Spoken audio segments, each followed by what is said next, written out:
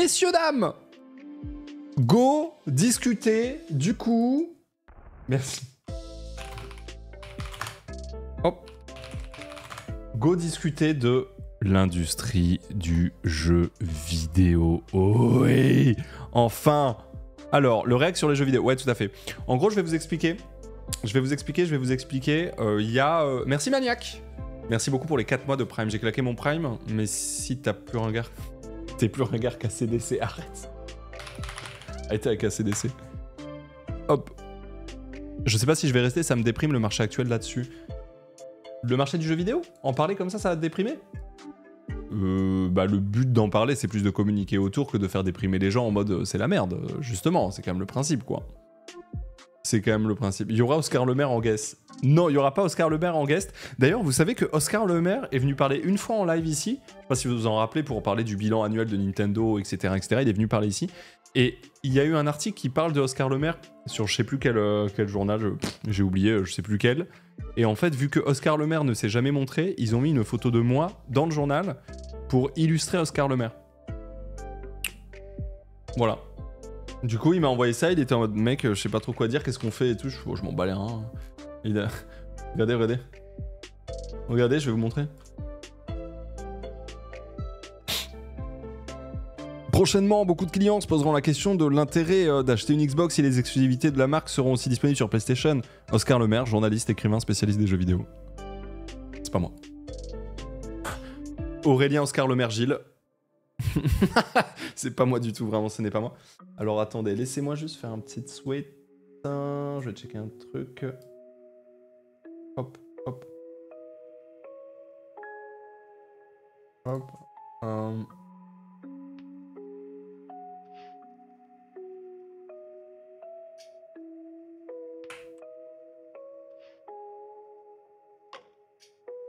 Hop.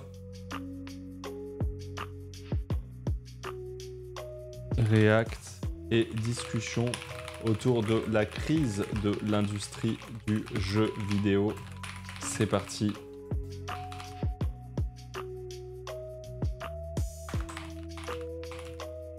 Hop. Let's go. Ah. Merci Nalakin pour les, euh, les 30 mois de prime, merci beaucoup. T'as un poil de moustache blanc ou je rêve et il est blond? Eh oh, ça va, hein? Tu parles de là ou tu parles de IRL Non, je sais pas. Si, si, je crois que j'ai toujours eu des, petites. euh, des petits poils de moustache euh, blond, en vrai clair. En vrai, j'en ai toujours eu. Plutôt châtain clair. J'en ai toujours eu, je crois. Pourquoi quand on cherche Oscar Le Maire sur Google Images, il y a des photos de toi C'est pas vrai. Oscar Le Maire, image. Mais c'est parce que. Ah, mais tiens, il y a une image de lui là. C'est parce que. euh, Ouais, putain, c'est vrai. Putain, j'avoue. À ce point-là. Bah, Après, parce qu'on le cite, tu vois, genre voilà, on le cite ici. Peut-être que c'est ça. Tu as trade un peu chaotique du bilan financier de chez Nintendo, Oscar Le Maire. Je pense que c'est ça, hein. Rook, c'est bon en affiliation. Oui, oui, je pense. Oui, oui. Et sinon, Oscar, il est là, hein.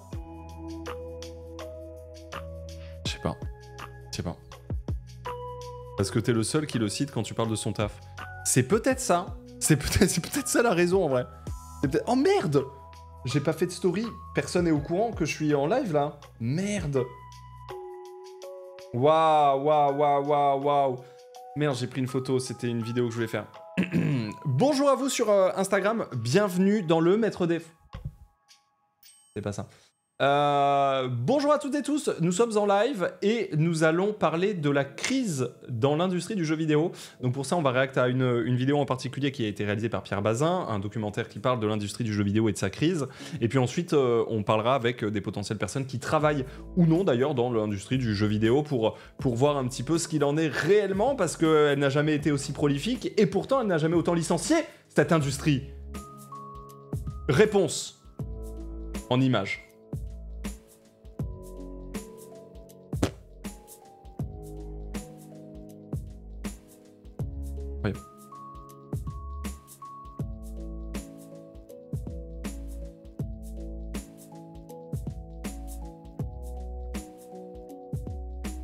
Faut appeler Gotoz.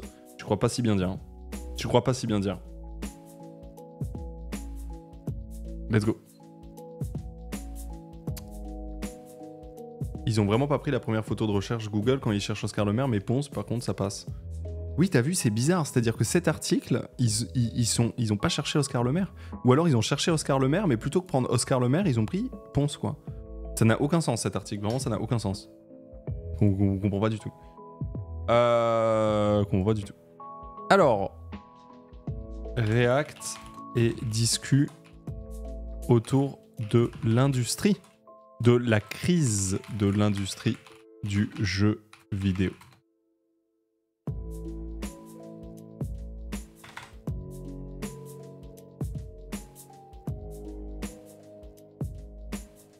vidéo. Hop. Tac. Euh, elle est là, la vidéo. Ouais, elle est là. Tac. C'est cette vidéo que j'ai envie de check.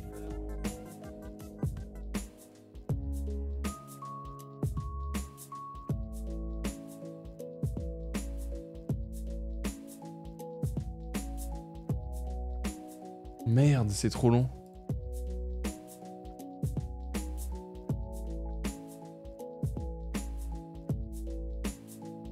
Voilà, parfait.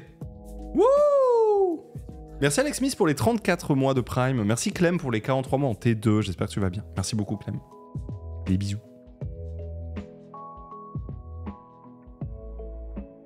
Ok, bah je suis prêt à réacter ça. Alors, alors, alors, alors, alors, messieurs, dames, bienvenue à toutes et tous dans cette après-midi discussion et react autour du jeu vidéo et de son industrie.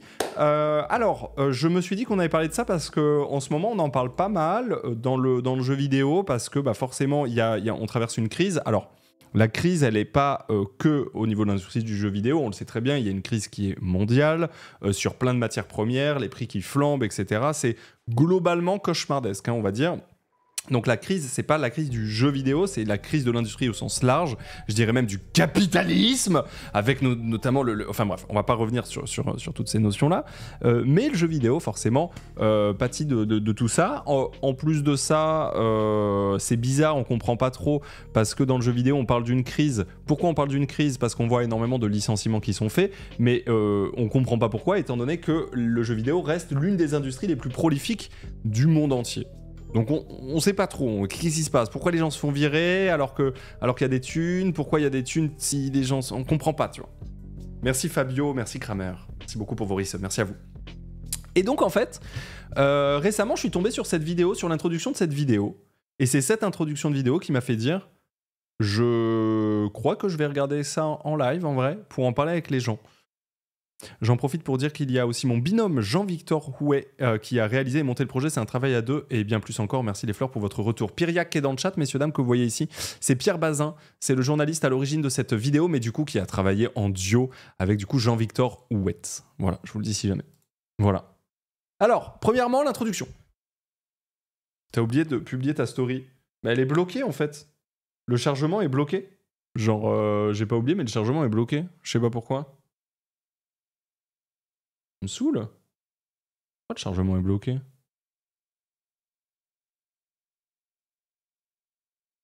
Annuler l'importation. Enregistrer en tant que brouillon. Impossible d'annuler l'importation. Essayer de supprimer la story une fois qu'elle est importée. Elle est... Ben justement, ça ne marche pas. C'est un peu bizarre, non? Annuler l'importation. Impossible d'annuler l'importation. Faites-le une fois qu'elle sera postée. Mais oui, mais du coup, elle ne se poste pas. Bah super. Attends, et je refais une story? Bonjour et bienvenue sur Ponce React et Discussion. Nous allons parler de l'industrie du jeu vidéo, une des industries les plus prolifiques du monde et pourtant c'est des milliers de licenciements actuellement dans cette industrie. Qu'est-ce qui se cache derrière les dessous de ces affaires? Nous allons en parler en live toute la journée. Ok, très bien. Je renvoie, je renvoie, je renvoie. Je renvoie, je renvoie, je renvoie. Ok, Lise Lucet. Ah, c'est. React et discu jeux vidéo. Ok, je poste ça. Par contre, si quand je poste ça, ça poste l'autre, je pétais mon crâne. Non je vais voir, je vais voir ce qui se passe. Je vais voir ce qui se passe. Salut les fleurs, je suis venu grâce à la story non publiée. Putain, ça marche, hein Comme quoi Tu vois Ça marche, hein Tout le monde licencie, Nintendo embauche. Euh, Nintendo embauche, en tout cas, Nintendo ne licencie pas. En général, chez Nintendo, c'est plutôt les, euh, les dirigeants de Nintendo qui prennent sur leur part de salaire, qui sont colossaux, hein, tranquilles, mais ils prennent sur leur part euh, quand quand il y a des galères ou autre. En général, Nintendo, c'est plutôt une, entreprise un peu plus safe de ce côté-là, quoi. Spoil pas. Mais quoi, je, je, sais pas moi de quoi tu vas parler, frérot. Je sais rien. Bon, allez, c'est parti, on s'en branle. De la story Insta. C'est parti. Let's go, début. C'est parti. Les jeux vidéo, c'est quand même vachement bien. Ouais. Ça paraît bête dit comme ça, mais il y a quelques années, ce n'était pas si évident de s'assumer gamer. Ces enfants sont atteints d'un mal très contemporain, la passion des jeux vidéo.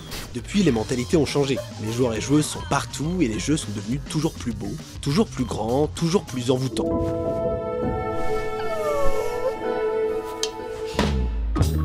Ça, l'industrie l'a bien compris. Regardez, là on est en décembre 2023 au Game Awards. Good evening, everyone, and welcome to the Game Awards. C'est l'équivalent des Oscars, mais pour le jeu vidéo. Sur scène, l'homme tout sourire, c'est Jeff Cayley, créateur de l'événement, ancien journaliste et marketeur le plus connu de l'industrie. Là, on le voit super content en 2023, super content en 2022, super content en 2021, 2020, 2019, 2018. Et là, en 2012, avec des paquets de Doritos, mais ça, c'est Sure, uh... Revenons à 2023. Parce qu'il a bien raison d'être super content de Jeff Kelly. L'année a été absolument exceptionnelle pour le jeu vidéo. Avec des titres comme Alan Wake 2, Zelda Tears of the Kingdom, Spider-Man 2, Hogwarts Legacy ou encore Baldur's Gate 3 qui vient justement de gagner le prestigieux titre de GOTY, Game of the Year. Thank you. Thank you so much. Le jeu vidéo dans le monde en 2023, c'est 184 milliards de dollars de chiffre d'affaires. Faut s'en rendre compte de ça. Qui dépasse de très très loin les 34 milliards du cinéma ou encore les 28 milliards de la musique. Vous vous rendez compte ou pas? Ça, non mais ça, ça, ça, ce chiffre, il me fait halluciner. 184 milliards très loin de bénéfices. Du cinéma. 34 milliards pour le cinéma, 28 milliards pour la musique. Vous vous rendez compte à quel point l'industrie du jeu vidéo, en, en termes de chiffres et de bénéfices, pulvérise, mais vraiment pulvérise, il n'y a, pas d'autre mot, les autres industries du divertissement, si je puis dire. Attends, c'est le CA ou c'est bénéfice? Attends, attends, attends. ah non, c'est chiffre d'affaires, je crois. 184 milliards de dollars. Sinon, ça n'a pas de sens. Oui, c'est chiffre d'affaires. Mais, mais rendez-vous compte, quoi. C'est, on parle de chiffre d'affaires, hein, effectivement. Dépasse de très très loin les 34 milliards du cinéma ou encore les 28 milliards. C'est ouf. Mais style. Ah oui, non, mais toujours, toujours, toujours. Mais d'ailleurs, c'est comme, euh, c'est comme euh, les, les, jeux vidéo les plus chers ont coûté beaucoup plus cher que les films les plus chers, tu vois, par exemple, typiquement. Typiquement. Typiquement. Ponce, t'aurais dû faire des jeux vidéo au lieu de jouer de la batterie. Mais tu sais, je suis en train de me dire, j'aurais pas dû créer un label de musique, j'aurais dû créer juste, ben, effectivement, un studio de jeux vidéo. Mais oui, c'est ça. C'est con. C'est con. Vous voulez rire, c'est quasi la fortune de, de, Bernard Arnault. Alors, Quick, ici, qui, euh, qui, qui dit les termes, effectivement, il faut savoir que 184 milliards ce n'est même pas la fortune, de Bernard Arnault. C'est le chiffre d'affaires du, jeu vidéo, hein, je vous le rappelle. Annuel. Mais c'est vrai, Bernard Arnault, en, termes de, capitaux, a juste plus. Voilà, tout simplement. Il est bien quand même. Il est, bien, il est à l'aise. Il est à l'aise financièrement. De très très loin, les 34 milliards du cinéma ou encore les 28 milliards de la musique. Bon, vous l'avez compris, le jeu vidéo, c'est une véritable machine à cash. Alors c'est bien normal que tous ces gens soient heureux. Sauf que... Eh oui. Eh oui. En 2023, l'industrie a subi l'une des plus grosses vagues de licenciements de son histoire. Plus de 10 000 personnes ont perdu leur emploi. En 2022, ils étaient déjà 8 000, et en 2024, à l'heure où l'on écrit ces lignes, on compte presque 13 000 licenciements depuis janvier. Cela concerne tous les studios. Vous vous souvenez du génial Spider-Man 2, le jeu qui s'est écoulé à 10 millions d'exemplaires en quelques mois? Eh bien, ça n'a pas empêché la maison mère de virer des gens de Insomniac, le studio qui a développé le jeu. Riot Games, l'éditeur du très populaire League of Legends, 530 personnes licenciées, 11% de la masse salariale. Epic Games, le géant qui possède Fortnite, le jeu en ligne le plus joué au monde, 830 emplois supprimés, 16% des effectifs. Et à cette trop longue liste, on peut ajouter globalement tout le monde. Ah hein. Des éditeurs géants, des structures européennes, américaines, des constructeurs et tout un tas de studios plus modestes. Mais alors comment? Comment une industrie aussi lucrative, aussi prolifique, aussi passionnée Ah mais justement, je me, je, je- on va mettre des pauses, on va discuter tout. hein. Liro dit, en soi, les licenciements, c'est normal partout en soi, encore plus dans les jeux vidéo où souvent ça bosse sur un projet, après, hop, ça part autre part. Mais alors, alors je trouve que là, tu soulèves un, problème très, très, très, très important. C'est que en réalité, euh, c'est vrai que les équipes vont travailler sur un jeu, et après, bon, une fois que tu as bossé sur le jeu, bon, bah voilà. Sauf que la réalité, c'est que déjà, il y a plein de licences. Donc pourquoi tu ne continuerais pas à travailler sur la licence en question Tu vois, si plutôt que de faire virer une fois que la sortie euh, est, faite, pourquoi aussi tu te ferais virer si, pourquoi tu te ferais virer si tu as fait tes preuves de fou, c'est-à-dire que le jeu il marche? Parce que là, il parlait vraiment de grosses boîtes dont les jeux marchent où ils sont virés. Et en plus de ça, et en plus de ça, il y a un moment, tu as l'expertise exacte à la fois de la licence, mais à la fois de, toutes les fonctionnalités, de plein de choses euh, vis-à-vis. euh, Enfin, tu, tu, tu, tu vois, tu, quand, tu, quand tu travailles, toi-même, tu sais, tu, tu prends un maximum d'expérience sur les choses, de l'habitude à travailler dans une certaine boîte, d'une certaine manière, etc., etc. Tu vois. Donc en soi, oui, non, ça ne marche pas comme ça. Bah, euh, en soi, ça pourrait. Bah, typiquement, tout à l'heure, on parlait de Nintendo. Bah, Nintendo, ils essayent plutôt de garder leur, euh, leur, leur talent plutôt que euh, virer les gens une fois qu'un jeu est sorti, tu vois. En général. hein, En général. En général. Donc, euh, tu vois, et puis là, exa- exactement, là, on parle de licenciement, on parle pas de quelqu'un qui serait en indé et genre, tu vois, genre vite fait en freelance, il travaille en tant que graphiste deux mois sur un projet, puis après on le tège et tout. Non, là, on parle vraiment de gens qui sont en CDI, tu vois. Tu vois ce que je veux dire? Je pense Nintendo of America fait pas ça, probablement. Probablement, ouais. Ouais, ouais. Bah ouais, mais en fait, la question c'est pourquoi ça marche pas comme ça? Je sais pas. Je sais pas. Attendez, on va voir, on va voir. On va voir. Mais alors comment? Comment une industrie aussi lucrative, aussi prolifique, aussi passionnée semble d'un côté vivre le grand amour financier et de l'autre écrémer un à un ceux qui créent au quotidien nos jeux vidéo favoris? Ouais, c'est ça. C'est la grande question à laquelle on a voulu répondre. On a demandé à des employés, Oui, bonjour. des petits patrons, des plus gros patrons, des experts et bien sûr des Ah bah voilà. Est-ce que l'industrie du jeu vidéo ne serait pas arrivée à un game over? Oui, bonjour Avant de comprendre pourquoi et comment on en est arrivé là, il faut revenir un peu en arrière. Un tout petit peu seulement, à une époque pas si lointaine quand on était coincé chez nous. Nous sommes en confinement quasi total, les rues sont désertes ou presque, les déplacements limités et très encadrés. Et pendant le confinement, qu'est-ce qu'on faisait? Putain, on a joué un. On a joué un. Oh là là là là, on a joué un. Eh bah, on jouait aux jeux vidéo.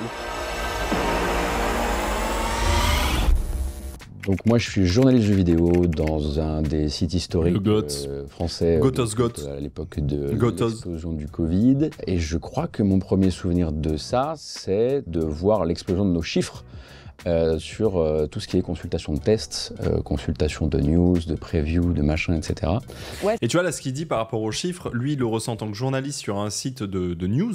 Typiquement, le nombre de personnes qui regardent, comme il dit, tous les articles, etc., monte en flèche. En réalité, les créateurs et créatrices de contenu, on ressent exactement la même chose. C'est-à-dire que nous qui travaillons, qui, qui proposons du jeu vidéo, en, fait, euh, en fait, dans tous les sens, il y a d'un coup plein de gens qui s'intéressent aux jeux vidéo et du coup plein de gens qui s'intéressent à regarder des gens jouer aux jeux vidéo, à regarder des gens euh, résoudre des énigmes, etc., pour comprendre comment, jou- comment jouer. Et, euh, et ça, on l'a évidemment ressenti sur tous les, médias. Les tournois MK du confinement. Vous savez que les chiffres les plus gros, je, crois que de mémoire, le plus gros tournoi Mario Kart, c'est 9000, euh, pardon, 5900 participants. C'était évidemment pendant la, pandémie, donc pendant le confinement. Vous vous rendez compte 5900 personnes ont joué au tournoi MK en même temps. Genre, on, va, on va arrondir à 6000 personnes, mais genre, c'est énorme, 6000 personnes. C'est énorme. C'était un autre monde, mais c'était un autre monde. Mais pendant le confinement, c'était un autre monde pour, euh, pour, euh, pour tout le monde, je pense. Enfin, c'est-à-dire que même vous, dans votre entourage plus ou moins proche, j'imagine que vous connaissez des gens qui ont joué pendant le confinement et qui jouent plus aujourd'hui, en vrai, ou alors quasiment plus. Euh, donc, euh, donc ouais, il y, a eu, euh, il y a eu un pendant et il y a eu un avant, un pendant et un après, clairement quoi. Le maître des fleurs, c'était 4000 tous les lundis, oui, par exemple. Exactement, toutes les games. Toutes les games. Merci Ariane pour les, les 4 mois, merci Claury pour les 5 mois aussi. Merci beaucoup pour votre soutien dans l'ombre, c'est gen- c'est gentil. Ça n'a rien changé pour moi. Ah mais moi non plus Ah mais moi non plus, moi ça n'a rien changé pour moi. Moi je joue... Si, en vrai vous dites ça n'a rien changé, mais en vrai pas exactement. En vrai c'est pas tout... Moi je joue quand même un peu moins que pendant le confinement. Pendant le confinement, qu'est-ce que j'avais d'autre à foutre Concrètement, tu vois? Moi ma copine s'est acheté une Switch pendant le confinement. Ouais ouais, le nombre de Switch vendus c'était une dinguerie. C'était une dinguerie. Perso c'est le confinement qui m'a fait regarder Twitch. Et comme beaucoup, beaucoup d'utilisateurs et d'utilisatrices de Twitch aujourd'hui, je, je pense vraiment beaucoup, beaucoup, beaucoup, beaucoup, beaucoup, beaucoup de gens.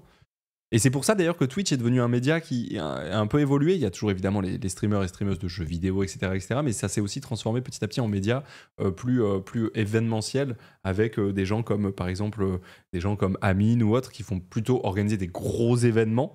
Et du coup, des gens qui vont se mettre à consommer Twitch en, regarder- en regardant plutôt des gros événements uniquement plutôt que tous les jours, tu vois. Là où pendant le confinement, t'es en mode go, quoi. T'es en mode go. On a vu beaucoup de sportifs. Oui, aussi. Euh, oui, oui. Ou la télé se mettre à Twitch. Ouais, effectivement. effectivement. Mais c'était ouf, hein, en termes de jeux vidéo, c'était c'était incroyable. Donc forcément, ça a dû faire exploser les chiffres et forcément, ça a dû faire baver euh, quelques, quelques marketeux, bien sûr. C'était vraiment une période intéressante de ce point de vue-là parce que Ah bah. non seulement on voyait plus de gens jouer, euh, mais on voyait aussi le, le traitement médiatique évoluer.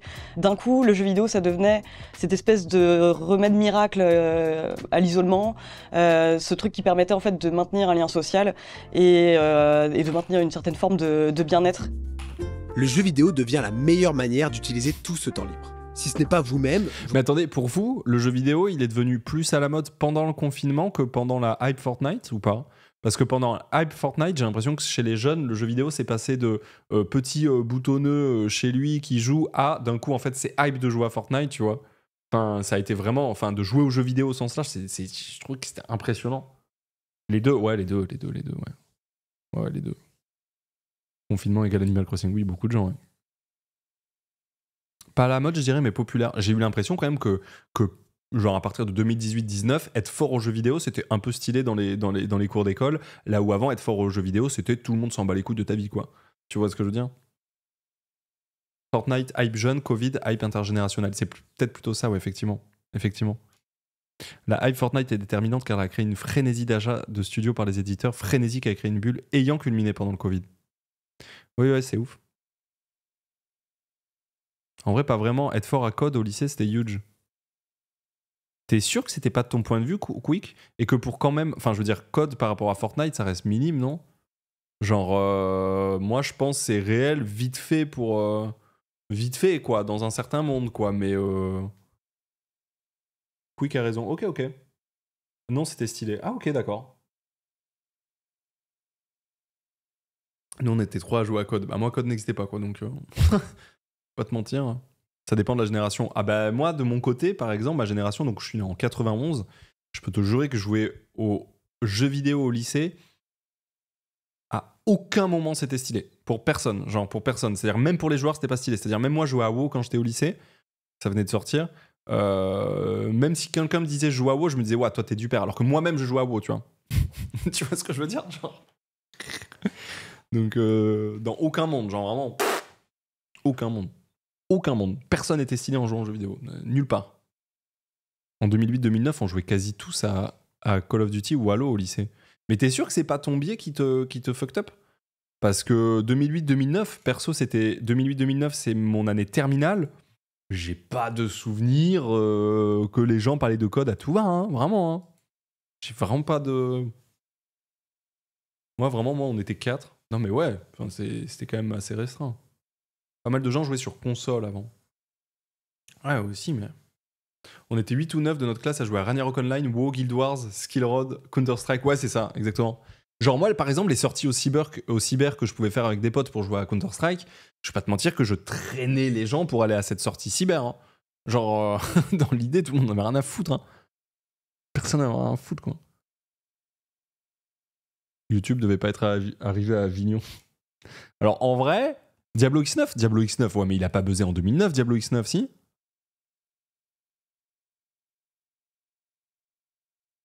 Collège en 2008, ouais, mais voilà, t'es plus jeune. Bah si. Ah ouais? Diablo X9, mais moi je sais. En fait, c'est ouf parce que personnellement, je, regardais pas de contenu jeu vidéo avant l'arrivée du streaming, donc du direct, j'avoue. Euh, et, euh, et personnellement, Diablo X9, j'ai découvert euh, son existence il y a pas si longtemps que ça, il y a quelques années, parce qu'on parlait des créateurs de contenu et je les connaissais pas, tu vois. Diablo X9. Diablo X9. En 2007 à 14 ans, il crée une chaîne Dailymotion. En 2010, il crée sa chaîne YouTube. Ouais, bah voilà, c'est bien ce que je dis. En 2009, il n'a pas de chaîne YouTube, quoi. Voilà, c'est bien ce que je dis. Donc il a, donc il a buzzé post 2010. Du coup. Voilà. Sur Daily, bah, c'était des let's play. euh. Il a buzzé sur Daily. Ouais, mais à un niveau, si je peux me permettre, à un niveau relativement faible, non? De- en, termes de buzz. Parce que, excuse-moi, mais buzzer sur Dailymotion en 2007 à 14 ans, sur des vidéos, justement, je sais pas de quoi. C'est le buzz de l'époque. Ok. Et même. Ah, merci Statua, merci Statua qui dit. Et même Diablo X9 n'a jamais été mainstream. Putain, merci. Parce qu'en fait, moi j'ai l'impression quand vous parlez de Diablo X9, vous parlez d'un truc où tout le monde connaissait, genre. Tout le monde connaissait Diablo X9. Je suis désolé, mais j'ai quand même l'impression que c'était les gens qui jouaient à Call of qui connaissaient Diablo X9. Point. Genre. euh, point. Genre, vraiment, euh, j'ai l'impression juste, c'est tu t'intéresses à Call of, tu connais Diablo X9, sinon tu t'en bats les reins, tu ne sais pas qui c'est, genre. Vraiment, hein. Tu vois? À l'époque, les youtubeurs n'étaient pas mainstream.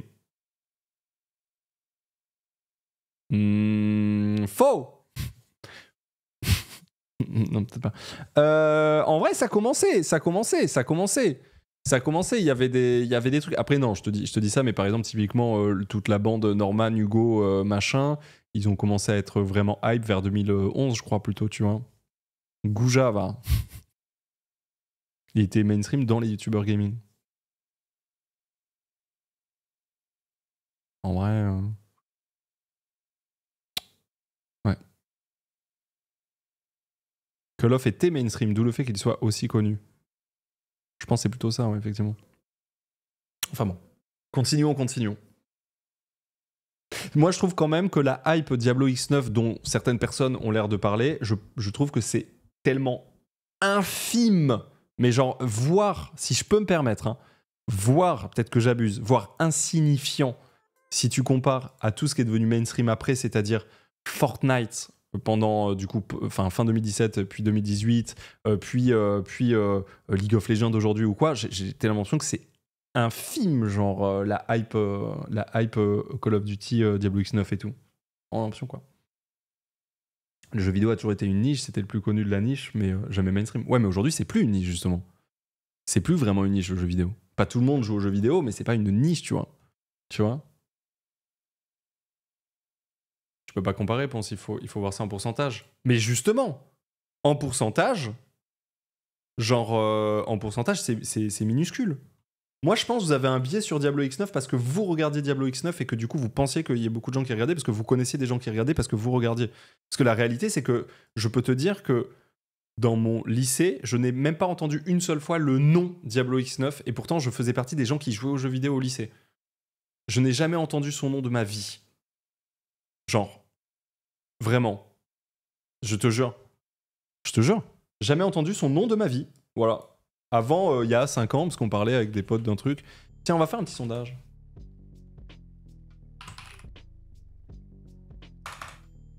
Hop. Diablo X9.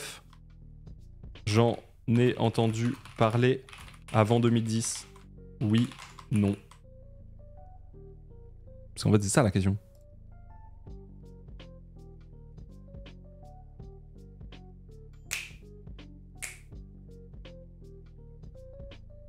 Pareil, jamais vu, jamais regardé Team 89 ici. Bah ouais. Comment on sait à quelle date? Bah à peu près, tu vois. Putain, il y a beaucoup de oui en vrai, hein, c'est énervé. hein. T'es une gêne au-dessus aussi, non, pense? Bah non, vous me parliez de, de, de 2000, euh, 2009, 2009. Moi, 2009, euh, euh, c'est l'année de mon bac, tu vois. Je joue aux jeux vidéo. euh. Personne parlait de jeux vidéo à l'école il y a 15 ans? Bah si, moi. Du coup. C'est ce que je. En fait, c'est exactement ce que je te dis. Genre, moi, j'étais dans le cercle des gens qui jouaient aux jeux vidéo au collège-lycée. Moi, collège, c'était de 2002 à 2006. Lycée, de 2006 à 2009. Je faisais partie des gens qui jouaient aux jeux vidéo et donc qui parlaient jeux vidéo. Donc, si, il y avait des gens qui parlaient jeux vidéo. Oh, le sang Merci beaucoup. euh, Merci, quoi. Daimi, bien sûr, pour ces 4 ans. Des bisous. Merci beaucoup. Merci, Anto, pour les 7 mois de Prime aussi, j'avais pas vu. Du coup, Ponce, t'as jamais connu Digidix? Non, jamais. Jamais, jamais, jamais.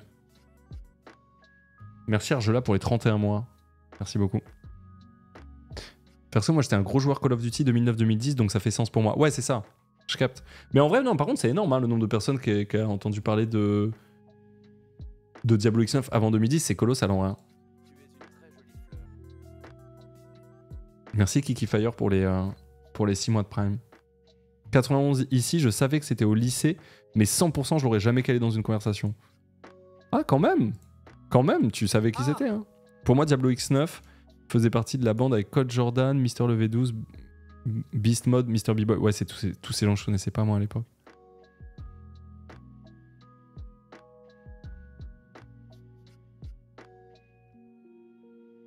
L'époque de WoW, Code, Minecraft, LoL, Dofus en termes de jeu. Ouais, c'est ça. Et c'est fou, hein. WoW toujours là, Minecraft toujours là, LoL toujours là, Dofus toujours là. C'est ouf quand même. C'est ouf. Non, non, mais euh, c'est quand même euh, énervé. Hein. Diablo X9, j'en ai entendu parler avant 2010, c'est énervé. Bravo. Bravo. Moi, je connaissais juste parce qu'un pote à fond sur Code m'en avait parlé. Putain, moi, c'est fou parce que, bon, du coup, c'est juste mon prisme. hein. Tu as joué à, à Code une période dans ta vie? Non, jamais. La première fois que j'ai joué à Code de ma vie, c'est parce que j'ai rencontré Rivenzi en fin 2017 et qui m'a dit que lui, c'était un gros joueur de Code. Je lui ai dit, mec, j'ai jamais touché un Code, je sais même pas quel est le but de Code. Euh, et il m'a dit, bah tiens, teste. Et j'ai joué. Voilà. Peut-être pour ça que tu connaissais pas. Ah, mais c'est sûr. C'est sûr, c'est sûr. Mais, euh, mais même, tu vois, même au lycée, je connaissais pas beaucoup de gens qui jouaient à Call of Duty. hein. Vraiment. Mais pas beaucoup.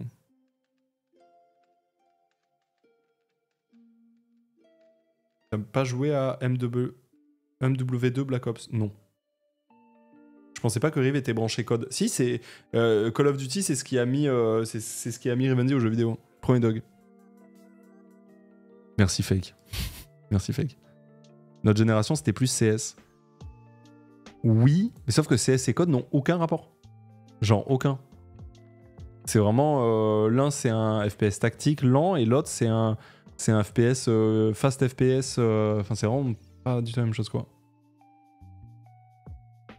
Pour arriver là, j'ai fait Diablo X9, B-Boy, Zera, MV, Antoine Ponce. Sacré parcours. Sacré parcours. Ok, non mais Diablo X9, euh, légende du club si je peux me permettre. Très bien. Très bien, très bien. Continuez, euh, messieurs. C'est surtout la différence gamer console et PC. C'est surtout, ça dépend quelle console aussi. Mais oui. Aussi le, traitement médiatique évoluer. D'un coup, le jeu vidéo, ça devenait cette espèce de remède miracle euh, à l'isolement, euh, ce truc qui permettait en fait de maintenir un lien social et, euh, de maintenir une certaine forme de bien-être. Le jeu vidéo devient la meilleure manière d'utiliser tout ce temps libre. Si ce n'est pas vous-même, vous connaissez forcément quelqu'un qui a craqué toutes ses clochettes dans une Switch pour ensuite rembourser son prêt à Tom Nook dans Animal Crossing. C'est mon premier Animal Crossing. Et pourtant, je, je trempe dans le jeu vidéo depuis. euh, voilà. Mais à un moment, il y a, il y a aussi un effet d'entraînement, quoi. Euh, tu t'y retrouves, tu te montres des fringues, des choses que tu peux plus tout faire dehors, euh, que je fais d'ailleurs pas dans mon temps libre d'habitude. Mais oui, c'est ça, c'est ce que j'allais dire. J'allais dire, mais parce que tu fais ça dans ton temps libre normalement. Tu te fais des petits euh, euh, just to, to impress avec des potes, genre. Vraiment gotose. Ouais, Animal Crossing New Horizons, c'est le carton du confinement. Sorti en mars 2020, le jeu de Nintendo va s'arracher à 13,4 millions d'unités dans le monde en seulement 6 semaines. En 6 semaines. Un mois et demi, 13, 13 millions. Non, euh, nombre vente Animal Crossing New Horizon. C'est combien? C'est du 40 millions? 41 millions 41 millions What the fuck? Wouh C'est huge, hein. Ouais. Ça permet aux gens de se lier. Bien sûr, bien sûr, Animal Crossing, totalement. Bah, c'est pour ça. Bien sûr. 41 millions de ventes, hein. c'est énormissime. C'est c'est énormissime. C'est énormissime. Un carton. D'ailleurs, il y a même un couple qui s'est marié dans le jeu, à défaut de pouvoir le faire en vrai. On espère qu'ils l'ont fait en vrai après quand même. On espère pour Certains eux. allument une Switch pour la première fois, les petits joueurs du dimanche deviennent de vrais geeks, et les gros joueurs sont euh, au paradis globalement. On a vu euh, un temps hebdomadaire de jeux vidéo, nous on le suit. Le CEL, donc c'est le, le syndicat du jeu vidéo, euh, syndicat des éditeurs de logiciels de loisirs. Voilà, le CEL pour celles et ceux qui ne connaissent pas. Et donc Nicolas Vignol est délégué général au CEL. Au CEL, bah oui, qui est passé à 9h50 par semaine pour donner des chiffres. Le CEL, c'est le syndicat des éditeurs de logiciels de loisirs, Pardon. celui qui regroupe tous les géants de l'industrie en France. Et en effet, ils seront là pour nous donner des chiffres. D'ailleurs, autre chiffre. Selon une étude américaine, durant le confinement, le temps passé devant les jeux vidéo a augmenté de 39% dans le monde. La stade de BC. Wouh Ok. Avec l'apparition de nouveaux joueurs et joueuses de part et d'autre du globe, l'industrie a profité d'un boom financier énorme. À tel point que le chiffre d'affaires global dans le jeu vidéo a explosé de 26% entre 2019 et 2021. Nintendo Ouf. a par exemple Plus 26% de chiffre d'affaires en deux ans, c'est colossal aussi, hein, bien sûr. Ponce qui backseat mon reportage, je suis désolé. Je suis désolé. Signé les meilleurs résultats de toute son histoire en 2020. Ah avec bah un ouais. bénéfice net de 3,7 milliards d'euros. Là, on parle de bénéfice net, hein, c'est de l'argent en plus. Un sacré paquet de pièces pour Mario. Les chiffres de l'industrie euh, et de consommation euh, faisaient SNJ. Non, je vais pas regarder, il va l'expliquer. rêver les investisseurs. Syndicat donc, national on a des eu jeux énormément d'investisseurs généralistes euh, qui ne connaissaient pas forcément l'industrie du gaming, qui, qui se sont euh, emparés de ce sujet-là et qui ont investi dans des studios. Le SNJV, Syndicat national du jeu vidéo, c'est l'organisme qui regroupe tous les studios français qui développent des jeux vidéo. Et en parlant d'eux, on est aussi allé voir un petit patron de studio. Tous les indicateurs d'absolument toutes les autres industries du monde. euh, Excuse-moi, Monkey Moon, Monkey Moon, Monkey Moon, Monkey Moon, Monkey Moon euh, Studio, Monkey Moon Studio, ils sont à Lyon. Ils spoilent encore. Mais non, c'est écrit C'est écrit Video games are for idiots. We are video game. Ok. Flat A. Tant qu'à faire, autant, autant regarder ce que font les studios. premier fuel station and technological hub. Jeu de management mettant l'accent sur la narration, gérer une station de service des plus avancées au monde, développer des produits, interagissez avec les clients les plus fidèles. You'll be able to unlock the new technologies through the profits you earn with excellent customer service. So Ok. Je me permets de regarder un. Night Call. A Killer Your City Death Stories. Available on Steam, GOG, Humble Bundle, Windows Store. Night Call Attends, Night Call, ça me dit rien. Night Call, t'aimerais bien, je pense. Night Call, bande, annonce, jeu vidéo, ouais, du coup. Euh, un, thriller original et prometteur, vas-y, c'est ça. Ah, mais si Annoncé dans le courant Si, de 3 2018, je me rappelle de cette Nightcall image. est un jeu d'enquête narratif plutôt atypique. Il vous place aux commandes d'un chauffeur de taxi parisien qui a été laissé pour mort aux côtés de son client, retrouvé mort lui aussi. Après une longue période de convalescence, la police vous fait du chantage. Vous faisant comprendre que vous pourriez être le coupable idéal de la mort de votre passager, les autorités vous demandent d'identifier le criminel et pour cela, vous devrez multiplier les courses et pourquoi pas cuisiner vos clients en quête de toute information utile. La démo que nous avons pu essayer était assez courte et la partie enquête en elle-même ne nous a pas été dévoilée. Si nous avons bien vu qu'il sera possible d'analyser des indices et de les compiler sur un tableau de recherche, nous n'avons malheureusement pas pu mener plus loin les investigations. En revanche, nous avons pu nous essayer au cœur du jeu, à savoir les courses de taxi. Sur une carte très stylisée de Paris, vous pourrez choisir vous-même la prochaine course à accomplir. Il faudra optimiser un maximum votre temps de trajet puisque votre service ne dure qu'une poignée d'heures. En tant que taxi, vous aurez donc des frais d'entretien ou d'essence et il conviendra d'engranger suffisamment d'argent pour ne pas mettre la clé sous la porte et pouvoir continuer votre enquête. Une fois un client embarqué, c'est l'heure des confessions. Night Call, du coup. Stylé. Ok, stylé, stylé. Du coup, c'est- Night Call, c'est donc euh, Monkey Moon, messieurs, dames. hein. Monkey Moon, donc, ils sont basés à, ils sont basés à Lyon. Ah Ok. Putain, mais c'est pas la première fois que ça me fait ça. Ah, c'est trop chiant. C'est quoi le jeu Switch? Est-ce qu'il est dispo sur, euh, sur Steam ou sur euh, Switch? Switch. Je sais pas ce que c'est. Je sais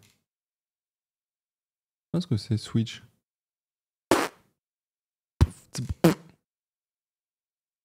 Archquad.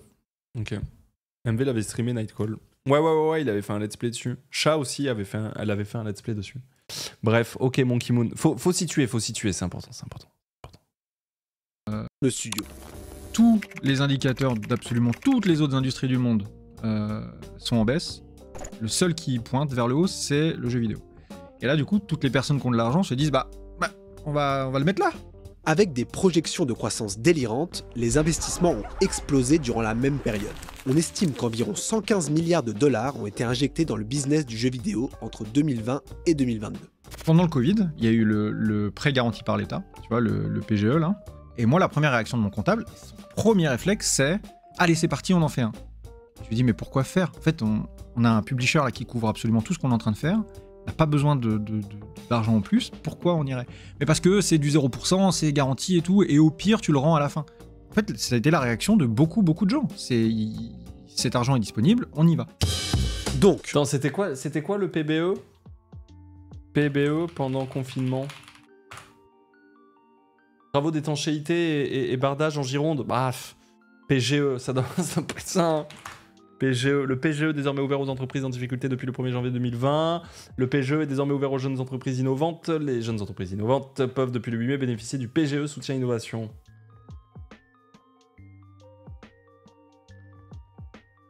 Prêt garanti par l'État. Mais du coup, c'est quoi? C'est un prêt qui, est donc à hauteur de 0%, qui est donc garanti par l'État et que tu peux euh, rembourser 100% dès que, tu le, souhaites. En gros, c'est ça? C'est ce qu'il a l'air euh, ce qu'il a l'air de dire? Ça permet d'étaler la période de remboursement de 2 4 années supplémentaires. Ok. Oui, ça, te fait de la trésor. Ok, très bien, je vois. Je vois. C'est de l'argent prêté gratuitement, mais qu'il va falloir rembourser. Ouais. Ok, très bien. D'argent en plus, pourquoi on irait? Mais parce que c'est du 0%, c'est garanti et tout, et au pire, tu le rends à la fin. En fait, ça a été la réaction de beaucoup, beaucoup de gens. C'est, cet argent est disponible, on y va. Donc, d'un côté, de nouveaux investisseurs injectent de grandes quantités d'argent dans les studios. Et de l'autre, les géants du jeu vidéo commencent une course au rachat et autres fusions d'entreprises, dont certaines ont fait grand bruit. C'est le cas de l'acquisition du groupe Zenimax par Microsoft en septembre 2020 pour 7,5 milliards de dollars. Un deal qui comprenait entre autres le studio Bethesda avec les licences The Elder Scrolls et Fallout, ou encore id Software, le studio derrière la mythique franchise Doom. Le rachat de Zenimax Bethesda par Microsoft, je me souviens que j'ai passé une demi-journée à faire les 100 pas dans la rédaction en disant mais on est où, mais on est où, mais on est où? Parce que normalement, c'est pas des choses qu'on voyait. Euh, Normalement, tu n'achetais pas, tu n'achetais pas d'éditeur. Un éditeur, Tu ouais. achètes un développeur, tu achètes un studio, tu achètes une proposition, tu achètes un truc, mais tu n'achètes pas directement un catalogue. Et du coup, c'est une catastrophe. ouais. lexique. Ah, bien. Le petit lexique du jeu vidéo. Le développeur, c'est le studio qui crée le jeu. L'éditeur, c'est celui qui va distribuer, vendre le jeu vidéo dans le commerce et assurer son marketing. Des fois, les studios ont des contrats avec des éditeurs, d'autres fois, les studios appartiennent directement à l'éditeur. Donc, Microsoft, c'est un gros éditeur qui a racheté un autre énorme éditeur qui avait lui-même des studios de développement et des licences. C'est bien de rajouter des intermédiaires, c'est parfait. Très bonne idée. Forcément, au moment des rachats, on entend toutes sortes de mots-clés, euh, vraiment le, jargon classique du, PDG qui va parler de synergie, euh, de, forces qui vont enfin s'allier, euh, on s'est permis le rachat de cet- cet éditeur. Ça va nous permettre effectivement de pouvoir mutualiser nos forces et mettre en fait tous nos efforts en commun pour dédoubler notre productivité, notre rentabilité. Et donc, évidemment, vous allez avoir des primes issues de tout ça, bien sûr, mais il va falloir se serrer la ceinture au début. Il va falloir travailler, dans une nouvelle euh, synergie avec de nouveaux collègues. Effectivement, et je compte sur vous pour vous donner à fond la première année pour prouver que vous l'allez le coup d'être gardé, bien sûr. Du fait d'avoir racheté un petit bijou euh, voilà, dont il veut préserver la force et euh, dont il veut pas voir la richesse s'étioler euh, au fil des années. Non. Et tu sais très bien que, enfin, je veux dire, c'est une histoire qui s'est suffisamment répétée pour qu'on commence à se dire, ok, ça sent mauvais, parce que des mois plus tard, c'est bon, bah, il y a des postes redondants, il va falloir faire des coupes, donc des coupes budgétaires.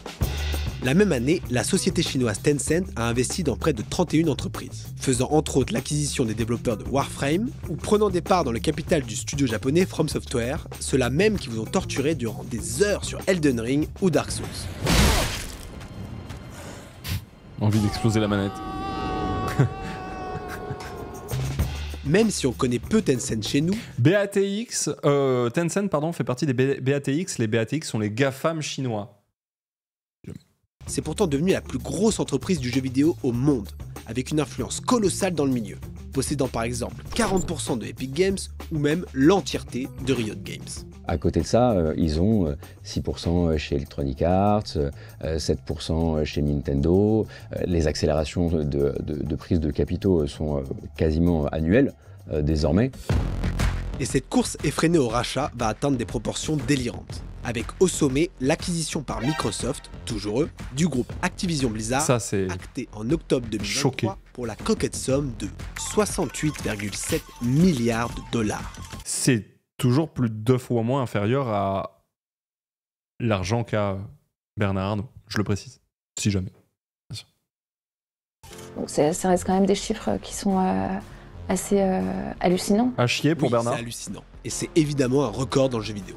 Une entreprise qui n'a pas du tout besoin de se faire euh, racheter, qui motive euh, un- des tarifs posés sur la table qui, qui dépassent absolument l'en- l'entendement pour, euh, pour tout le monde. En même temps, Activision Blizzard, c'est déjà un géant du jeu vidéo. On parle de Call of Duty, World of Warcraft, mais aussi King, qui est l'éditeur d'un jeu mobile très populaire, Candy Crush. Tu sais, on, ouvrait- on oublie que Activision Blizzard, ils ils ont Candy Crush quand même. Non mais, enfin, c'est la machine à thunes, quoi. Ils ont la machine. En fait, ils ont les deux plus grosses machines à thunes de l'histoire. J'ai nommé World of Warcraft et euh, Candy Crush, quoi. C'est-à-dire que là, c'est. Attention, hein. C'est solide, hein. C'est solide. Hmm. Et ils arrivent à nous sortir une monture sur World of Warcraft pour fêter les, les 20 ans à 80 balles. hein. Ouais, ouais. Hmm. C'est bien. Et Call of Duty, bien sûr, bien sûr. Machine à thunes, euh, World of Warcraft. Oh, la petite monture Toi-même, tu sais Regarde, euh, monture 20 ans WoW. Ah, ils ont abusé là. Ils ont abusé là. Euh, la monture Brutosaur. La monture Brutosaur. Attends. euh, monture Brutosaur. Regarde, Ils ont pété un plomb. 80 balles. Euh, 80 balles. Allô? Ah, Bon, après, si vous m'entendez, Blizzard, envoyez-moi ça gratos. hein, je l'afficherai avec plaisir. hein. Et on, parle effectivement de 13 euros par, euh, euh, par mois par joueur. Tout à fait. Tout à fait. Non, c'est un truc de fou. Hein. C'est un truc de fou.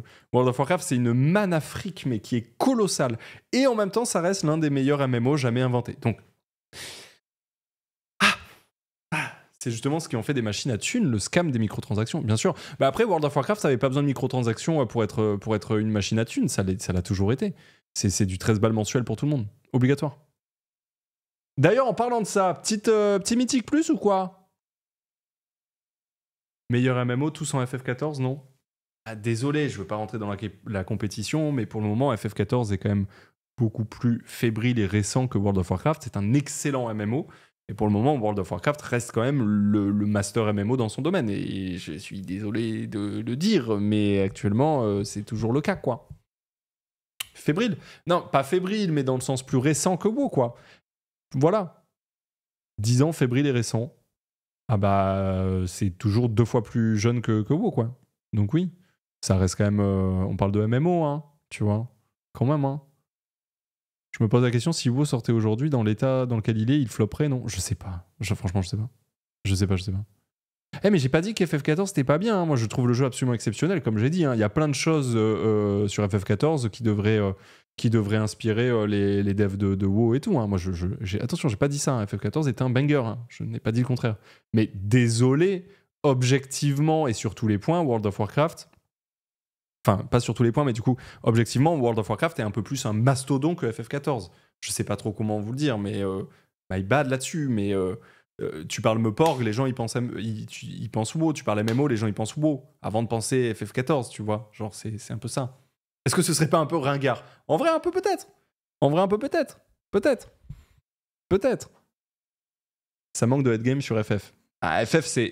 Désolé, excusez-moi, hein, mais FF 14, c'est un peu plus un MMO de casu que, que WoW. Ça reste. Voilà, il y a des milliards de trucs à faire, mais c'est un peu plus casu que WoW. Voilà. Là où WoW, pour le coup, c'est autant casu que tryhard, tu vois. Donc, euh, c'est un peu. Pardon Bah.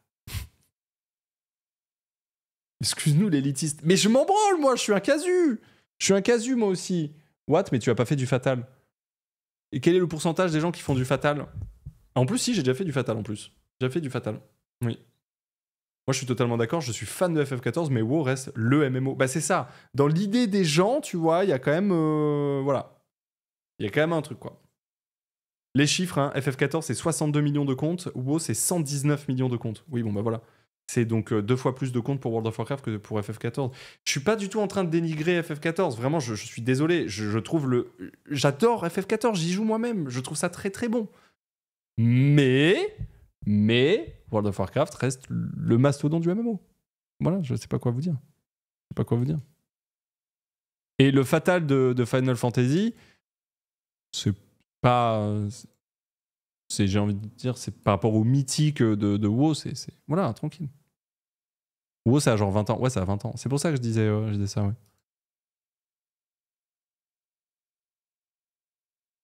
J'adore, j'adore FF14, même moi j'ai des amis qui sont FF14. Non mais tu vois ce que je veux dire? Non mais il faut pas tout prendre en mode on dénigre le jeu. FF14 est une dinguerie absolue. Mais désolé de vous le dire, FF14 n'est pas le MMO quand on pense au MMO, c'est World of Warcraft. C'est ça que je veux dire quoi. Voilà, c'est ça que je veux dire, c'est ça que je veux dire, c'est ça que je veux dire. Voilà, c'est ça que je veux dire. Voilà, c'est, ouais, c'est- Tranquille. Perso, joueur du Mastodon depuis les premières heures, je m'y fais euh, sacrément chier quand je lance maintenant. Ah bah oui, oui, non mais ça, l'un n'empêche pas l'autre, bien sûr. L'un n'empêche pas l'autre. Ah oui, je trouve que FF14 respecte plus les joueurs que ceux de, WoW. Ah bah là, il n'y a aucun débat. Euh, Je préférerais que toute l'équipe euh, de WoW euh, copie l'équipe de FF14, oui. Oui, oui, en termes de, de relation avec la communauté, de fou furieux. Je suis grave d'accord. Je suis grave d'accord. Bien sûr. Une entreprise qui n'a pas du tout besoin de se faire euh, racheter, qui motive euh, un, C'est-à-dire, c'est-à-dire que souvent, quand il y a des choses qui plaisent pas à la commu, vu que c'est un MMO et qu'un MMO est basé sur la commu, eh bien, ils vont pas hésiter chez Square Enix à supprimer littéralement des trucs, genre à revenir en arrière par rapport à des décisions parce que ça n'a pas plu à la commu. Et ça, pour le coup, c'est incroyable dans la gestion d'un MMO, je trouve, tu vois. En fait, le Bruto, c'est le prix de la porte d'un vaisseau Star Cities. oui. Ponce, il n'y a pas aussi WoW plutôt Occident et FF14 Orient On est biaisé un peu? Non. Non, pas du tout. euh, World of Warcraft, euh, rappelle-toi à l'époque ce qu'on appelait les farmers chinois, etc. Non, non, pas du tout. World of Warcraft, c'est, c'est Inter. C'est Inter. C'est Inter. Totalement Inter. des tarifs. Alors que Blizzard, effectivement, sur World of Warcraft, quand il y a une, un truc que t'aimes pas, bah, tu, vas, tu, tu vas le dire et Blizzard, ils vont dire on s'en bat les reins, repaye 13 balles. Bisous. Tu vois? C'est un truc. WoW, énorme succès en Chine. Ah oui, oui, non, WoW, ça marche partout, bien sûr. Hmm. Est-ce qu'on peut se mettre d'accord FF14 et WoW se complètent? Hmm, hmm, Je sais pas si complète c'est le cas. Par contre, le fait que ça vive ensemble, ça c'est encore heureux que ça puisse vivre ensemble. Parce que souvent les gens sont en mode ouais, mais il y a tel MMO et tout. Mais évidemment, tous les MMO, euh, je veux dire, euh, apportent à tous les autres MMO. Après, ils se complètent pas vraiment, je trouve. C'est pas vraiment le terme. Pas vraiment le terme non plus. C'est dur de jouer au jeu. C'est dur de jouer à deux MMO en même temps. Ça, c'est un peu dur, ouais, j'avoue. J'avoue, j'avoue. J'avoue. Posé sur la table qui, qui dépasse absolument l'en- l'entendement pour, euh, pour Dofus qui a le même âge que WoW. Alors désolé hein, pour les gens de Dofus. Et d'ailleurs, j'ai super hâte de l'aventure Dofus sur Unity qui arrivera le, le 3 ou 4 décembre, je sais plus le jour de la sortie. J'ai très très hâte de commencer vraiment Dofus pour de vrai sur un fresh start et tout. Mais désolé de vous le dire, Dofus ça marche surtout chez les communautés francophones et, euh, et hispaniques. Mais sinon, Dofus c'est c'est pas au niveau de World of Warcraft ou FF14 en termes de nombre de joueurs, etc., etc. C'est voilà, c'est très c'est très euh, français espagnol quoi, on va dire. Brésilienne aussi. Ah putain, il y a une commu Brésil, stylé. Ok. Mais donc voilà, là où WoW ou FF14, c'est partout dans le monde, tu vois. Salut Pont, je suis commercial dans un studio de dev FR. Oui, c'est compliqué en ce moment. Juste ce matin, on s'est fait killer un projet justement. Je suis plutôt bien placé pour partager de comment c'est la merde pour nous, vu de l'intérieur. Si vous voulez parler des backstage ensemble, c'est possible. Ouais, tout à fait. euh, tout à l'heure, je, je- on fera venir des gens pour discuter de tout ça et tout. Force à toi, en tout cas, et à toute, euh, toute ton équipe. Ouais, ouais, complètement. pour tout le monde. En même temps, Activision Blizzard, c'est déjà un géant du jeu vidéo. On parle de Call of Duty, World of truc Warcraft, de fou. hein. mais aussi King, qui est l'éditeur d'un jeu mobile très populaire, Candy Crush. Et en plus, Activision Blizzard à ce moment-là, en interne, va très mal. Ou en tout cas, dans sa culture d'entreprise, a été dénoncé de très très nombreuses euh, fois. Et c'est un peu la question de pourquoi t'achètes un truc comme ça? Est-ce que c'est pour le nettoyer? Peu de chance. Euh, Est-ce que c'est pour en tirer le maximum? Voilà, plus de chance, effectivement. Mais attendez, là on est en 2022. Le jeu vidéo se porte pas si mal, non? Chez les grosses boîtes nord-américaines et britanniques, le recrutement dans le gaming prend 5%. Et en France, tenez-vous bien, c'est 40% d'offres d'emploi en plus de 2020 à 2021 selon la FJV. De manière générale, il y a les éditeurs et les développeurs traditionnels qui entrent en contact de nouveaux capitaux et qui se disent qu'un développement c'est bien, deux développements c'est mieux. Et effectivement, tu vois beaucoup plus euh, d'embauches. Euh, à ce moment-là, les écoles euh, de jeux vidéo démoulent du junior en disant vous inquiétez pas, tout va bien se passer. Ça démoule Le- du junior. Le marché de la formation privée de jeux vidéo est Graphiste freelance. lucratif. Freelance. Déjà, ça change beaucoup de choses. Syndiqué solidaire informatique jeux vidéo.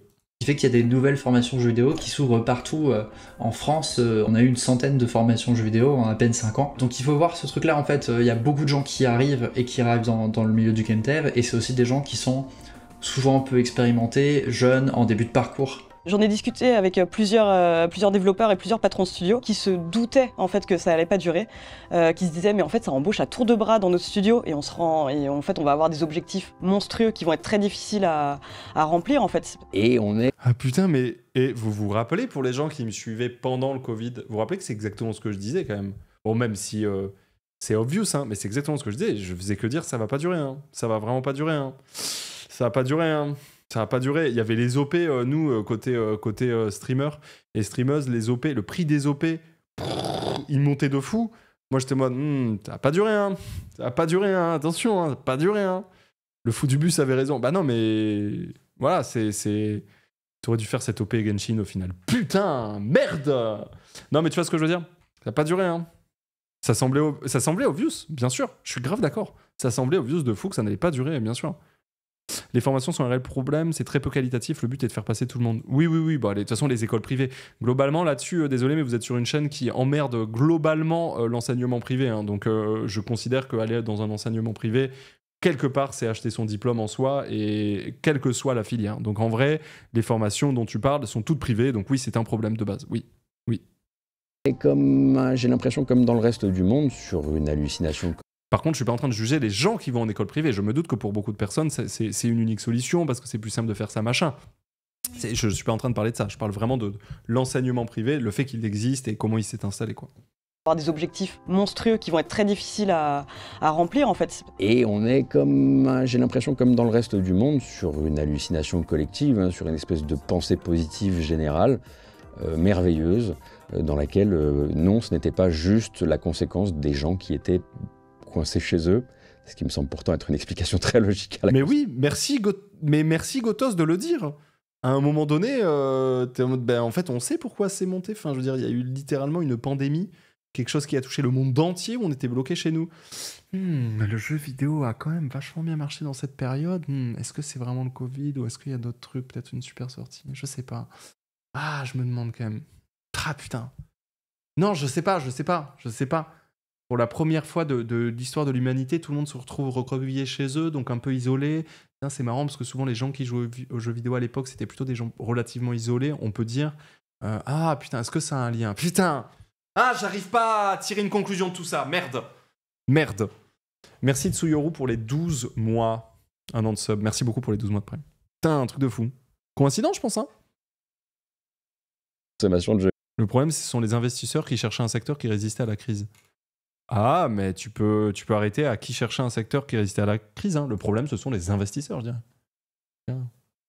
vidéo. Vous aurez vécu 55 jours confinés. Quelle est la première chose que vous aurez envie de faire?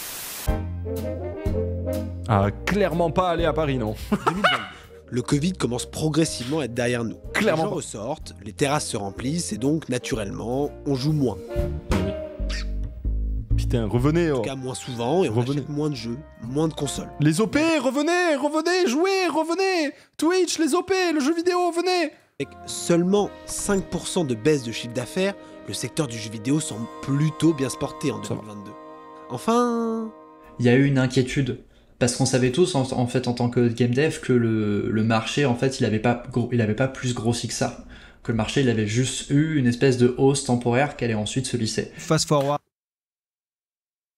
Sur ce lycée, je suis, d'accord, mais par contre, euh, si, il y a eu un up, c'est-à-dire qu'il y a quand même des gens aujourd'hui qui ont. C'est-à-dire, à partir du moment où ça augmente le nombre de bases installées, ça augmente forcément le nombre d'acheteurs et acheteuses potentiels, tu vois. Euh, en vrai, euh, c'est-à-dire que les gens, tous les gens qui sont achetés une Switch parce qu'ils étaient bloqués pendant le confinement, aujourd'hui, c'est des gens qui sont plus à même potentiellement d'acheter de nouveaux Zelda que s'ils n'avaient pas de Switch, tu vois, quand même. Donc, quand même. à partir du moment où il y a plus de bases installées, il y a quand même un peu. Fast forward deux ans plus tard, avec ces mêmes personnes qui disent Eh, il y a deux ans, on vous a filé 20 millions, il est où notre jeu? On investit En deux ans, un jeu en capital, en cap- Docteur en sciences de l'information et de la communication. Bonjour, monsieur Giner. capitalise, le terme est terrible, sur des profils qui n'ont pas les compétences métiers. Et donc, tu te retrouves avec des personnes qui n'ont jamais mis les pieds euh, dans l'industrie du jeu vidéo, des personnes qui n'ont jamais tenu une manette en main et qui viennent dire aux devs comment on fait un jeu. Le seul truc que je pas rejette comme ça dans toutes les boîtes. sur ce que l'industrie du jeu vidéo vit, euh, vit depuis 4 ans, c'est cette idée selon laquelle ah, c'est le marché. Pour moi, c'est toujours l'affaire d'une décision stratégique, euh, d'une mauvaise perception des tendances, d'une envie de se lancer dans des choses à corps perdu parce que parce qu'elles excitent les marchés à, à ce moment-là. Il y a une déconnexion claire en, en- en haut chez, dans les grandes entreprises. Et Eh oui, parce que c'est bien beau de se rêver comme le futur GTA, mais la première chose que les nouveaux investisseurs n'avaient pas anticipé, c'est que développer un jeu vidéo, ça peut coûter cher. Très cher. C'est vrai qu'on n'a aucun recul pour le savoir. ce n'est pas nouveau. Mais à mesure que les générations passent, que la technologie évolue et que le médium grandit, le coût de développement financier et humain des jeux vidéo Putain, mais moi je veux faire ça comme métier euh, plus tard. Je veux faire ça comme métier plus tard. Je veux tourner des, des trucs où je suis tiré pour faire, euh, pour faire genre c'est une chute. que les générations passent, que la technologie évolue, Genre ça, regardez le que move le médium grandit, le coût de développement Paf, paf. financier et humain des jeux vidéo grossit lui aussi de Bien. façon exponentielle. Moi je veux tirer réponse. une- Eh Quev, Quev, Quev, on redescend, on redescend, Quev, quand même. Oh, oh, oh, oh, oh, oh Oh Je sais qu'on parle de jeux vidéo, ça te réchauffe un petit peu, tout ça, mais oh Doucement. financier et humain des jeux vidéo grossit lui aussi de façon exponentielle, dans une industrie qui compterait aujourd'hui environ 330 000 travailleurs. Faire un jeu vidéo à 330 000 travailleurs? Putain, il y a moins de gens qui travaillent dans le jeu vidéo dans le monde que de nombre d'intermittents du spectacle en France, mais on est où? Attends, mais recruter là exponentielle, dans une industrie qui compterait aujourd'hui environ 330 000 travailleurs. Faire un jeu vidéo à gros budget, pas ça énorme. un triple A comme on les appelle, ça demande une armée. Mais pas une armée uniforme de soldats identiques. Un studio de jeux vidéo, c'est plusieurs dizaines de métiers différents. T'as des designers, t'as des programmeurs et des programmeuses, euh, t'as des artistes, et en fait, euh, c'est ce travail-là euh, collaboratif qui va permettre la création du jeu vidéo. Tu peux être sur des cycles de développement qui sont longs, tu peux être sur 2-3 ans sur euh, certains jeux tout de même, ce qui est assez long. Plus Hey On va faire un petit vote. Vice City, what the fuck? Enfin non, Vice City. Sorti en 2002, GTA Vice City avait coûté 5 millions de dollars de développement. C'était le C'est tellement rien par rapport au budget euh, d'aujourd'hui. 5 millions pour Vice City? Mais c'est rien du tout. record pour son créateur Rockstar Games à l'époque. 11 ans plus tard, GTA V aura un budget estimé à 137 Ouais, voilà. millions de Étant donné que, étant donné que je crois que GTA 6 c'est 2 milliards. Je crois que c'est ça, euh, mais on n'a pas les trucs officiels, mais je crois que c'est 2 milliards. dollars pour 5 années de production. Et en ce qui concerne le très très attendu GTA 6 qui revient à Vice City justement, les premiers travaux auraient commencé il y a 10 ans et certains analystes estiment que son coût pourrait être au-dessus des 2 milliards de dollars. 2 milliards. Bon, évidemment, le cas GTA est un extrême du jeu vidéo, de ses licences les plus fortes, et pas forcément la plus représentative de l'industrie. Mais son énorme succès en fait aussi un des modèles les plus enviés par les investisseurs. Quand t'annonces les chiffres de GTA, quand t'expliques aux gens combien ça coûte de Ouais, faire je spoil GTA, un peu. combien Personne travaille sur GTA. Combien de temps ils ont passé sur GTA Tout le monde hallucine. Et il y a peut-être un manque de transparence de notre côté, peut-être un manque d'explication, de présentation, de trucs, ou peut-être que les gens s'en foutent tout simplement et c'est tout à fait ok. Forcément, quand il y a beaucoup d'investissements, il y a Ah, beaucoup de jeux vidéo. Pour s'en rendre compte, il suffit de jeter un coup d'œil à Steam. Steam. All the games you love. Rappelez-vous qu'à une époque, pour se procurer un nouveau jeu, il fallait aller en magasin et acheter son petit CD, voir sa cartouche pour les plus vieux d'entre nous. Aujourd'hui, Steam a Oh de Pierre, comment en devenant la plus Oh, grosse comment ça pour les jeux plus vieux? Comment ça Pour les encore plus vieux, frérot, ils allaient dans des salles d'arcade pour jouer. Comment ça, les plus vieux Non, il y a plus vieux que les gens qui achetaient des cartouches. Oh, on est où là-haut? Tranquille. Et les plus vieux, même, ils sont, ils sont morts, tu vois. Genre les plus, plus, plus vieux, par exemple, d'entre nous.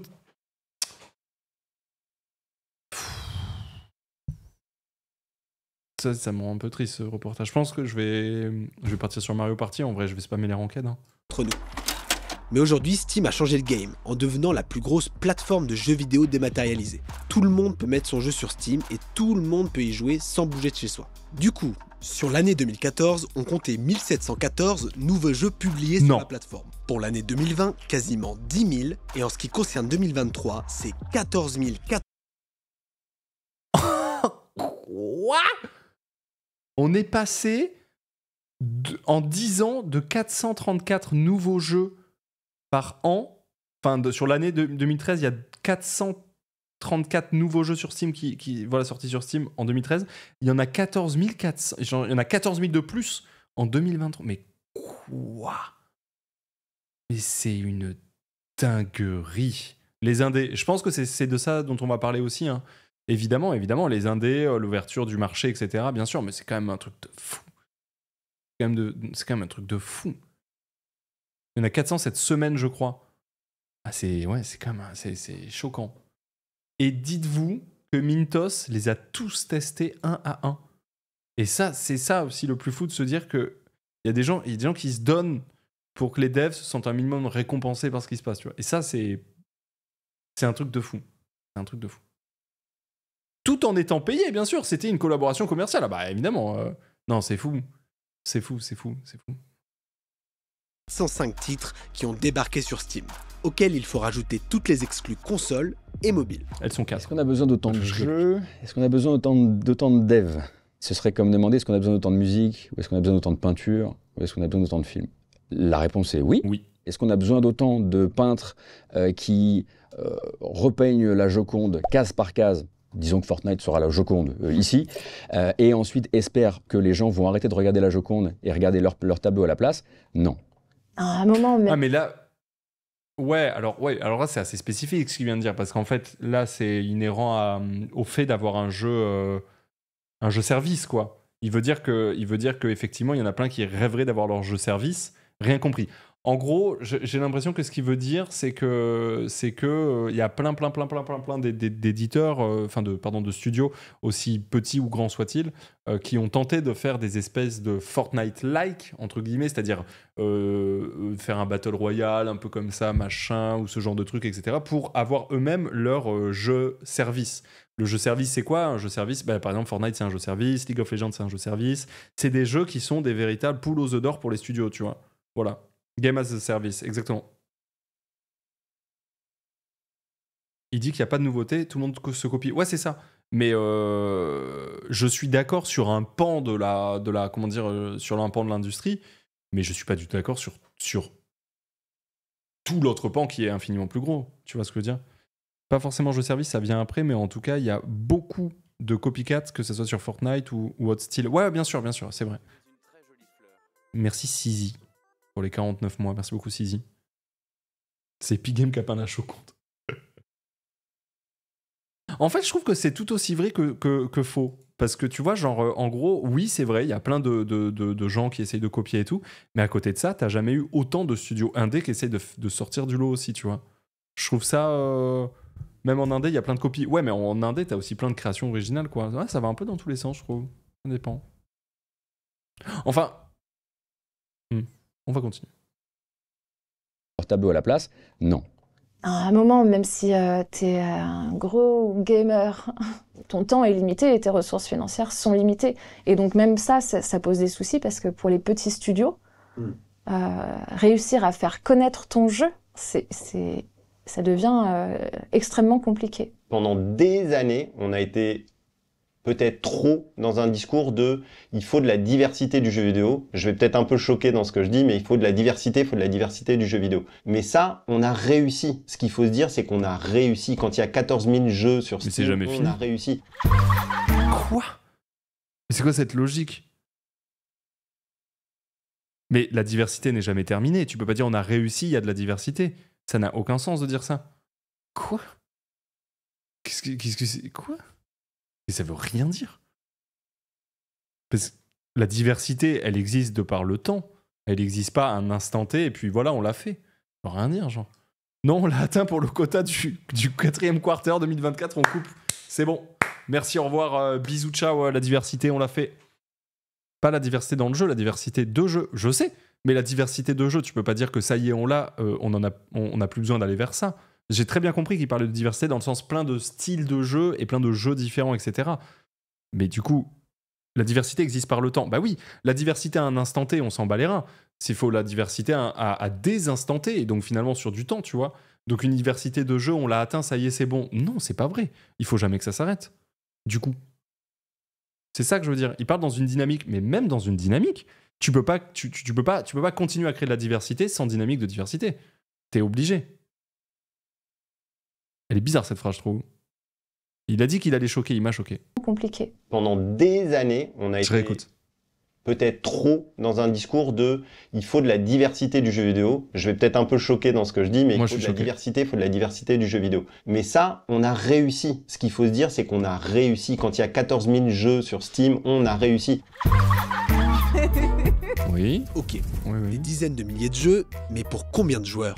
On estime que le nombre de joueurs et joueuses dans le monde est passé de 2 milliards en 2015 à environ 3,32 milliards en 2024. Mais attention, il y a une autre réalité derrière ces Je énormes parle de téléphone là. D'ailleurs, c'est souvent ce genre de gros chiffres qu'on présente à ces fameux investisseurs dont on vous parlait plus tôt. Avec des personnes qui n'ont jamais mis les pieds dans l'industrie du jeu vidéo. Parce que dans ces 3,32 milliards de gamers, autant on trouvera ceux qui enchaînent 3 heures de League of Legends tous les soirs, 3 heures Oh le casu mais on retrouvera aussi le profil de ma mère, qui joue juste à Scrabble sur son téléphone 20 minutes par semaine. Et j'adore ma mère, mais ce n'est pas elle qui sauvera l'industrie du jeu vidéo. Pas Parce que si les joueurs et joueuses jouent quand même beaucoup aux jeux vidéo, ils ne jouent pas à beaucoup de jeux vidéo. Oh, oui, putain, j'avais vu des stats sur ça. Ça, c'est une dinguerie. Mais c'est un peu pareil avec toutes les industries. Globalement, c'est en vrai. je- je- j'espère que ça va parler stats euh, en termes de. Attends. 2023, une étude estime que 80% du temps de jeu mondial PC et console a été consacré à seulement 66 titres précis en Truc de fou, non? Truc de fou furieux, non? Vous vous rendez compte ou pas? 80% du temps de jeu mondial, PC et console, 80% du temps de jeu mondial PC et console sont sur 66 jeux. Voilà, pas du tout étonné. Non, mais je pense qu'il y a encore pire comme stats. Parce que là, ils disent 80% sur 66 jeux. À mon avis, tu réduis encore le pourcentage. C'est sur euh, vraiment très, très, très, très, très peu de jeux, quoi. Je trouve ça déjà beaucoup, 66. Attends, 80% du temps, quand même. Genre, c'est quand même. C'est, énorme. En vrai, c'est énorme. C'est énorme. Je vous rappelle que sur Steam, il y a eu 14 000 nouveaux jeux en 2023. c'est un truc de fou. Mais après, c'est pareil dans toutes les industries. En fait, à partir du moment où tu as des mastodons, c'est ces mastodons qui écrasent le reste et c'est eux qui ont des chiffres absolument colossaux et qui, prennent tout, quoi. C'est. Merci à Célélé pour les 29 mois. Merci beaucoup. Et dans les grands vainqueurs, il y a 5 jeux. 5 mastodontes de l'industrie. Sortis il y a plus de 6 ans, qui regroupent à eux seuls 27% du temps de jeu mondial. Donc 6 jeux pour 27% du temps de jeu mondial. Donc plus d'un quart du temps de jeu mondial, c'est 6 jeux. Non, c'est un truc de fou. 20 27% du jeu total mondial sont sur 5 jeux. Je peux te garantir qu'ils Euh, sur Minecraft, les, ils FIFA, sur les consoles de la génération précédente, ça, c'est euh, certain. J'aurais cité Fortnite. Fortnite évidemment. Roblox? League of Legends. GTA Online et pas Ah, Roblox, j'avais oublié. League of Legends. Ah bah oui, League of Legends, c'est vrai, ouais. FIFA? Non, le plus vendu au monde. Bah Minecraft. Ah, Minecraft. Donc sur ces, ces 5 jeux représentent 27% du temps de jeu console et PC au monde. Plus d'un quart du temps de jeu console et PC au monde sont sur ces 5 jeux. Moi, je suis choqué. Hein. Ouais, il n'y a, pas- y a pas CS. Il n'y a pas CS. Ouais. C'est un truc de fou. Je connais pas Roblox, je suis un noob. Euh, non, tu es un adulte. Euh, Roblox, c'est un jeu. euh, en vrai, c'est un.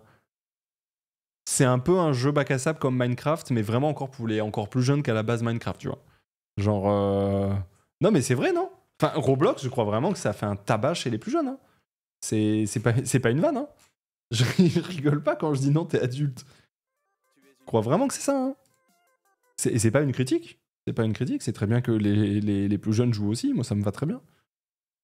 Euh, Roblox est un, voilà, un jeu de type sandbox. L'objectif est de construire un jeu pour qu'il soit visité par les autres joueurs. Les joueurs sont libres de construire ce qu'ils souhaitent et de partager leur création avec le reste de la commune du jeu. Il y a de nombreux types de, de, jeux populaires, courses d'obstacles, tycoon, simulation de tir, escape. Ouais, c'est ça C'est ça, ouais. Ouais. Roblox, hein. Attends, mais attends, mais Roblox, genre, il y a des.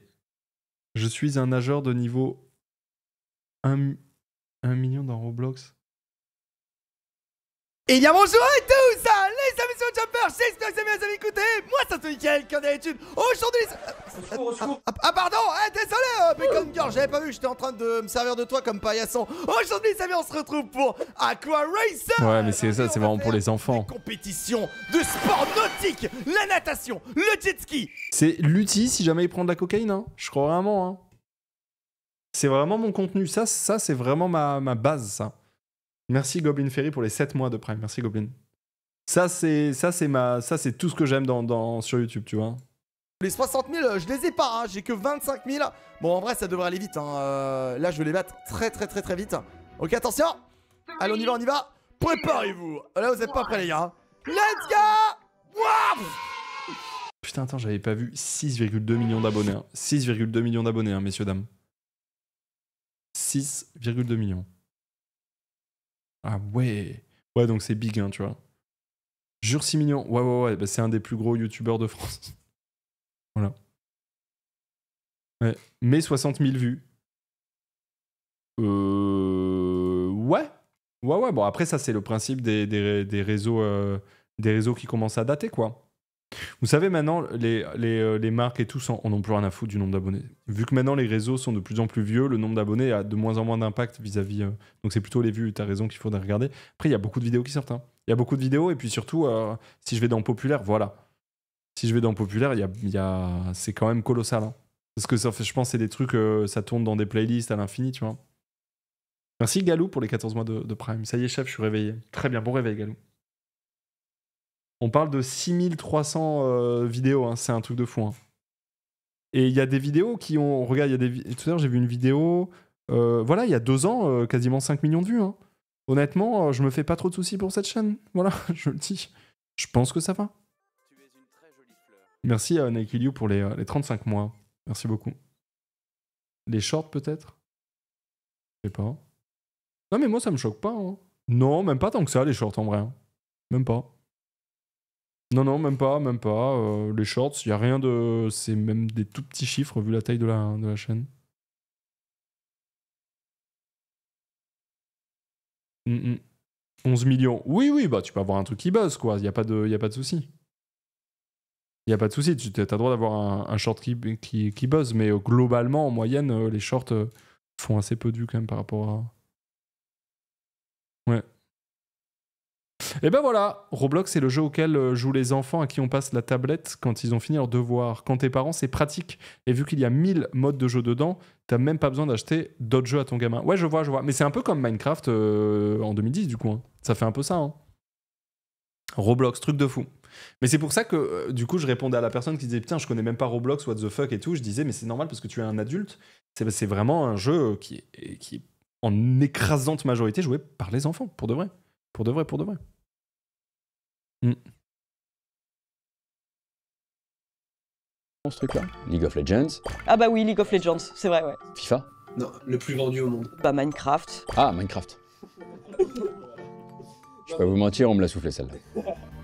C'est-à-dire que si quelqu'un lance un jeu sur son PC ou sa console aujourd'hui dans le monde, il y a une chance sur quatre que ce soit un de ces cinq jeux. C'est vraiment une folie. hein. C'est vraiment Euh, une bah folie. ouais, c'est des exemples assez particuliers parce qu'on est sur des, euh, des jeux qui ont une grosse composante en ligne, des jeux services pour la plupart, qui ont un flux de contenu. euh, Mais là, vous dites bizarre que FIFA soit pas dans le top. Je suis assez d'accord avec vous. Moi aussi, j'avais dit FIFA à la base, mais c'est vrai qu'après réflexion, faut pas oublier que le, le football tel qu'on le connaît, c'est un sport qui est quand même euh, pas forcément giga populaire autant que, autant que ça l'est en France, euh, ailleurs dans le monde. hein. C'est finalement très européen. Voilà, c'est ça. C'est quand même finalement très européen. Il y a quand même, euh, bah, typiquement, les États-Unis, FIFA, ils s'en battent un peu les roubignoles, hein, par exemple. Un petit peu, tu vois. Un petit, un petit peu, quoi. Donc, euh, il y, a, y a un peu ce genre de truc, quoi. Tu vois, genre, typiquement, est-ce que FIFA en Chine, ça marche bien, tu vois? Tu vois? Est-ce que ça marche bien? Et puis aussi, oui, effectivement, ça change d'occurrence tous les, tous les ans. Donc, c'est difficile. Ouais, les ventes sont éclatées, ouais, entre FIFA 19, FIFA 20, etc., etc. Ouais, ouais, clairement, clairement. Chine, le football est inexistant. Bah, tu vois, quand même, euh, le marché chinois, c'est quand même un gros marché. Donc, euh, en fait, il suffit qu'un truc déjà ne marche pas en Chine et ça peut pas être un des plus gros mondiaux. euh, Genre, euh, c'est ça, j'avoue, c'est assez ouf. On rappelle que quand même, t'as une personne sur deux sur Terre qui habite en Inde ou en Chine. Quand même, quand même sympa, quoi. une grosse composante en ligne, des jeux services pour la plupart qui ont un flux de contenu euh, constant, donc qui du coup ont une espèce de euh, rétention sur les joueurs. Pourquoi en effet développer plein de jeux quand vous pouvez n'en faire qu'un seul et le faire évoluer avec le temps? C'est la stratégie utilisée par Epic Games, les créateurs de Fortnite. Et elle semble leur réussir. Euh, si, si, League of Legends est gratuit, bien sûr que si. League of Legends est complètement gratuit. Pourquoi en effet développer plein de jeux quand vous pouvez n'en faire qu'un seul et le faire évoluer avec le temps? C'est la stratégie utilisée par Epic Games, les Ah, créateurs mais de c'est le rêve de tout éditeur, et elle non semble leur J'adore ça. réussir. En Voilà soi. la recette. Des mises à jour abondantes, des licences célèbres en veux-tu en voilà, des nouveaux concepts toutes les deux semaines et même des concerts de superstars.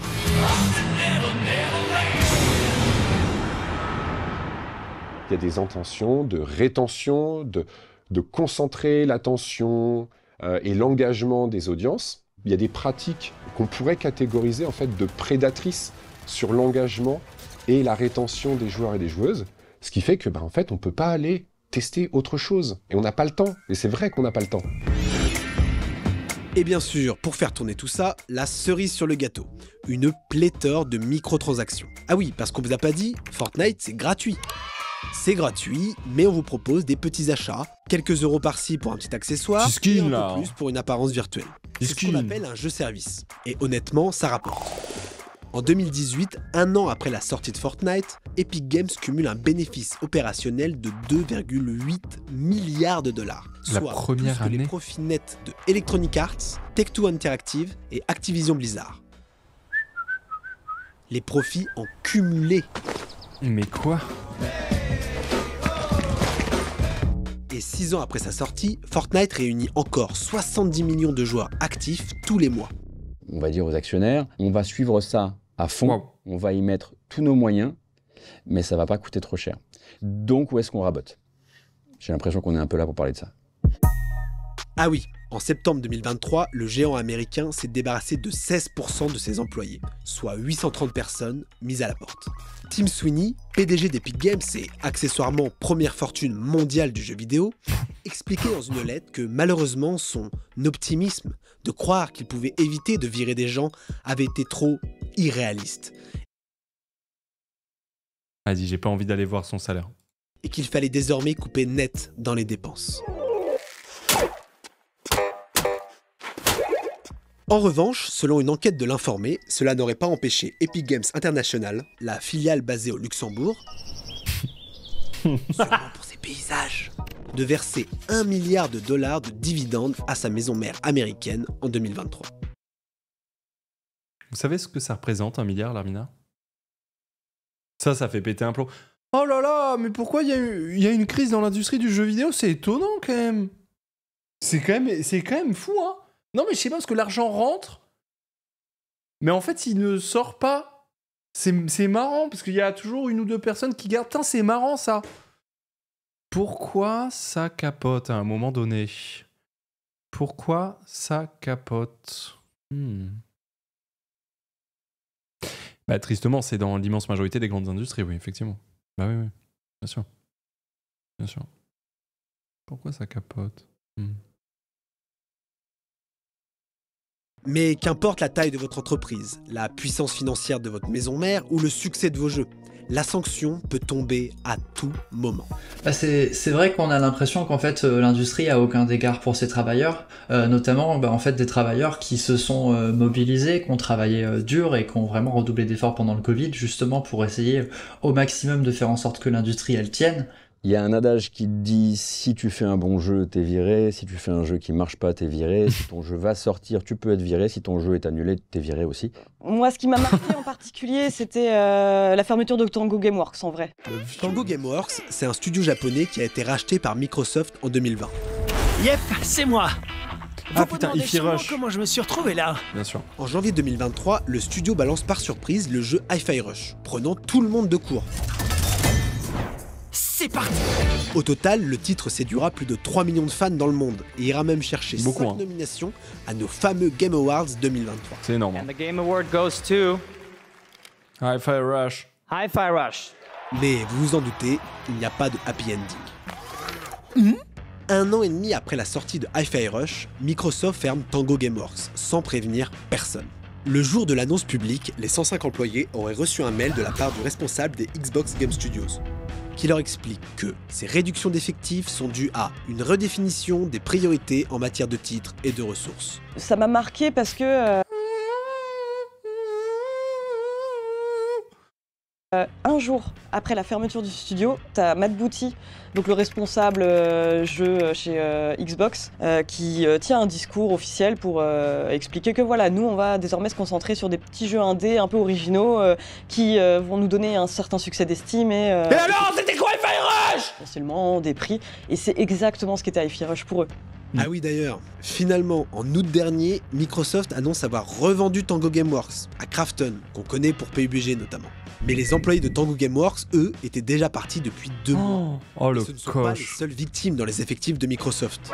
Au total, en 2024, le géant américain a licencié plus de 2500 personnes dans le monde, confirmant toutes les craintes des employés après les rachats massifs. Pour se revaloriser sur un marché financier, le licenciement, c'est une stratégie qui est connue et qui est Oui, étudiée oui, depuis tu- des tu années fais en monter fait, en les- économie. tu fais baisser les trucs, Tu licencies, tu sais que tu revalorises ton action.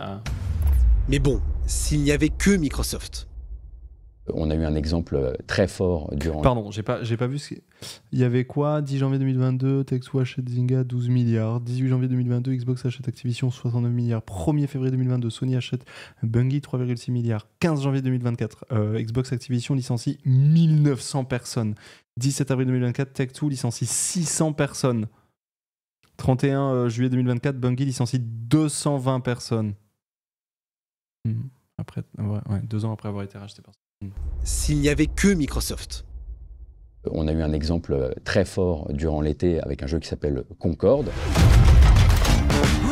Oh, mais ça, c'est une histoire de fou aussi, ça. Effectivement, euh, le moment où euh, Sony PlayStation crée son jeu Ça, c'est une folie, ça. service, donc qui pourra effectivement euh, vous faire rester longtemps. euh. Et si on essayait de faire un concurrent à Fortnite ou à Overwatch en 2024 Et si, si, ça va marcher parce qu'on est qui Parce qu'on est nous. Pour un coup, Ça, ça me fait penser à ce qu'on crée le live. C'est, la je trouve que c'est la même dynamique, mais c'est sûr, ça va marcher, c'est nous. Attends, putain, t'as vu tout ce qu'on a fait? Attends, c'est un banger. On est si chaud. Attends, mais c'est nous quand même, on parle de nous là. C'est un banger ce qu'on est en train de faire. J'ai vraiment. Start from the bottom. On est qui? On est nous. Là, cette phrase, elle est exceptionnelle. On est qui? On est juste nous. Ça va être un banger ce qu'on prépare. Et si, si, ça va marcher parce qu'on est qui Parce qu'on est nous. pour un coup, accessoirement, euh, s'il faut revenir aux trucs qui font mal, bon ben voilà, on parle d'un investissement de plus de 200 millions euh, de dollars, ce qui est lunaire. Et deux semaines après euh, le lancement, ils ferment les serveurs. Mais ça, c'est. Ça, c'est ouf. On ne se transforme pas en faiseur de jeux multijoueurs euh, service euh, à succès euh, du jour au Il y a lendemain. des gens qui ont joué à Concorde ici ou pas? Il y a des gens qui ont pu, qui ont pu try ou pas? Merci Raitozen pour les 43 mois, j'ai tout raté, je regarderai la diff pour voir le départ. Ouais, bien sûr, bien sûr. C'est un sujet qui me touche euh, particulièrement. Ouais, ouais, ouais, ouais, je comprends, je comprends. Après, c'est, on n'a pas fini. hein. Non, non, non, non. Il n'y a pas une personne qui a répondu oui, c'est une blague? C'est peut-être pour ça qu'ils ont fermé après deux semaines. Pas eu le temps. Oui, j'ai testé. Ah, il y a une personne qui a dit oui, j'ai testé la bêta. Si, ah, et alors? Bah, c'est fermé. Hein Donc, euh, on n'en sait rien. T'imagines bosser 8 ans sur un projet pour qu'il ferme au bout de 12 jours? C'est cool, hein? Ça fait plaisir. Eh ben, on testera jamais. Voilà, on testera jamais. Euh, euh, Concorde euh, tra- euh, trailer. euh. Oh, mais c'est une dingue ça.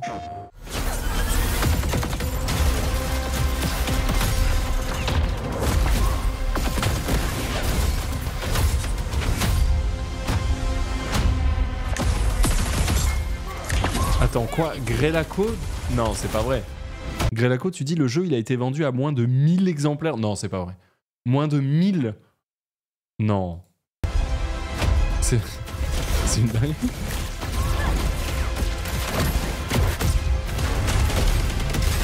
Non, c'est pas possible, moins de 1000 si. Regarde Steam Chart. Ah, mais sur Steam peut-être. Oui, d'accord. Parce que tu vois, genre là, il était aussi sur Play, sur Play 5. Après, désolé, hein. Il y a aucune DA. C'est brouillon as fuck, c'est un mélange de plein de trucs. Il y, a, y a aucune, y DA. En termes de gameplay, juste en regardant, j'ai l'impression de, jouer à ça depuis déjà euh, 20 ans. Franchement, euh, c'est. Le jeu, le jeu n'a rien de sexy. Genre vraiment, à aucun moment tu te dis en vrai, ah. En vrai.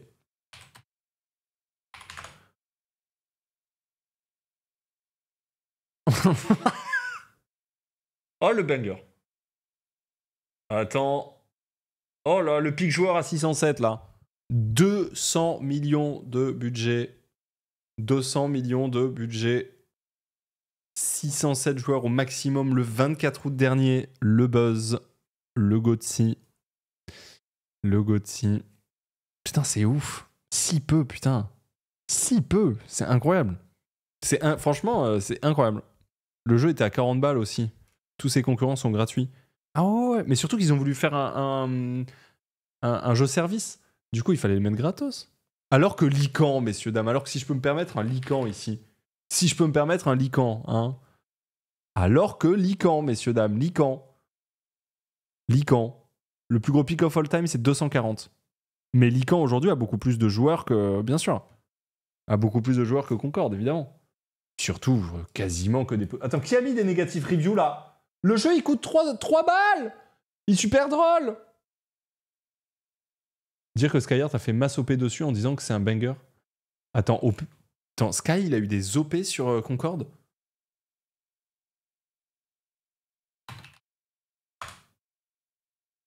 Non Avec PA Mais non, c'est pas vrai Lutti et Li... Mais non, mais je suis mort. Il faisait plein de tweets euh, vidéo, je crois. Mais what the fuck, c'était le représentant official Les potes, gros coup de cœur pour Concorde, c'est un nouveau héros shooter qui est, je trouve, euh, hyper intéressant, hyper sympa, c'est Qui est hyper fermé, mon ref. hyper fun entre potes. Vous allez voir, j'ai eu aussi un coup de cœur pour un des persos, vous allez voir qu'avec euh, des petits couteaux, c'est vraiment sympa. Vous savez, il y en a Et tu un peux plus jouer, si mon vous ref. voulez profiter du jeu gratuitement par le lien, après ce sera payant. Donc voilà, si vous voulez tester le jeu. Ah, c'était le vraiment test. le jeu incroyable. Euh, on en refera le 20 Ouais, donc sur les 200... Non, sur les 200 millions de budget, ouais, il y avait 4 millions pour Sky, quoi. À peu près, je pense. Ça doit être ça, ouais. Il y a eu énormément d'OP pour Concorde. Mais contactez-moi Mais attends, mais pourquoi on me contacte pas Moi, n'hésitez jamais à me contacter pour une OP, moi. Il y a aucun problème. Vendre un jeu qui va fermer dans deux semaines, mais avec plaisir. Avec plaisir, il y a aucun problème, en vrai. Putain Dites-moi Dites-moi, je prends, on prend, on prend. Non, non, mais en vrai, pour le coup, je suis pas étonné que Skyheart soit, soit en OP sur le jeu. C'est assez cohérent aussi avec euh, quand même sa manière de jouer et tout. C'est pas, pas choquant, quoi. T'as dit que c'était de la merde, ça marche moyen en OP. Mais j'aurais jamais dit ça pendant les deux heures sponsorisées. J'aurais fait attention quand même à utiliser les bons termes. Moi, je suis passionné de jeux vidéo. Moi, je suis passionné de jeux vidéo de tout type. Je suis passionné de tous les jeux, euh, tous les, tout, tout, tout, tout, n'importe quel DA, tout. Je suis un grand, grand passionné pour le coup. Et pour le coup, c'est une énorme passion. Très passionné. Très, très passionné. On ne se transforme pas en faiseur de jeux multijoueurs euh, service euh, à succès du jour au lendemain. On n'inflige pas ça à un studio non plus d'ailleurs. Tu as eu des gens qui ont pris la décision, ok, ça, ça va nous rapporter de l'argent, qui se sont pas posé la question, mais en fait, est-ce que le public a envie d'un deuxième Fortnite? Alors moi j'ai la réponse, il n'y a pas besoin d'être chercheur. La réponse est non. Et alors, bon, bon. d'autres exemples du même genre, il y en a une pelletée. On a cet exemple euh, d'une graphiste qui travaille sur des skins de League of Legends, qui se fait virer de son emploi euh, à plein temps, pour ensuite, quelques heures après, être contactée par une boîte de sous-traitance pour faire le même travail. On peut aussi m'en parler rappelle. de Anissa. Ça, c'est très très grave hein, quand même. Ça, c'est, je m'en rappelle très bien. Ça, c'est très très grave. Tu te fais virer de ton taf et genre après, tu reçois une propale pour bosser en freelance pour faire la même chose, mais en passant via une autre société en freelance pour, pour bosser sur la même chose. Ça, c'est une dinguerie, ça. Se faire licencier par Riot Games en travaillant sur des skins pour League of Legends et se faire rapprocher par une société externe quelques heures après le licenciement pour faire des skins pour League of Legends pour un tarif forfaitaire par skin. oh, je suis mort. Putain, c'est top. C'est top. C'est une honte. Mais non, mais c'est normal. Mais on voit que vous créez. Va- Vous n'êtes pas en train de gérer des entreprises, ça se ressent. Moi, je trouve ça normal. C'est évident, c'est évident. Enfin, je veux dire, a un moment donné, il y a des coupes budgétaires, il faut faire avec, il faut continuer à travailler. C'est comme ça. Et comment on fait alors, nous, pour maintenir notre jeu d'une qualité exceptionnelle et avec des skins magnifiques qu'on va vendre évidemment, si on peut, 30, 40, 50 balles, bien sûr. Mais, mais, mais comment on fait, nous, si on, a, si on peut pas, tu vois, faire ça? On est, euh, Coupe budgétaire, on vire les gens, et puis derrière, on a quand même besoin de leur talent, mais pour, rien du tout 500 euros le skin faker, mais d'ailleurs ça c'est ma création, c'était mon idée d'ailleurs chez Riot. Je suis très très fier qu'ils aient mis ça en place parce que j'en ai beaucoup parlé et je me suis dit que c'était bien et on s'est fait des couilles en or. hein. Putain, on vous a bien baisé hein, sur ce skin là. J'avoue, je suis assez content. Donc euh, la bonne idée, merci beaucoup. Euh, ils sont très fiers de moi. C- c- Cette idée, on s'est fait vraiment, on s'est refait à fond. Et vu qu'on s'est fait énormément de thunes, on a décidé de licencier euh, 200 personnes qui bossaient pour les skins. Parce qu'on s'est dit en fait on va pas en fait à un moment donné on va pas engager 20 personnes pour faire des skins alors qu'avec un skin on se fait 500 balles par vente. Vous voyez ce que je veux dire? À un moment donné on va pas se prendre la tête. Donc oui on tège. Oui on tège.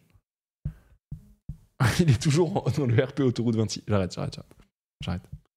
Euh, mais truc de fou quand même de sous-traitance pour faire le même travail. Histoire de fou. On peut aussi parler de Anissa Sanoussi. Pour fêter les deux ans de la sortie du jeu Rollerdrome, la développeuse a carrément incité les gens à pirater le jeu. Et ben oui, comme le studio avait fermé l'année dernière, plus aucun développeur ne touche quoi que ce soit sur les ventes. Donc mais ça ça me rend trop triste ça ça me rend trop triste T'imagines quand même le truc de fou? Ouais, j'ai vu la nouvelle monture Beau à 78 euros. J'ai vu. Ça me rend trop trop triste, putain. C'est horrible.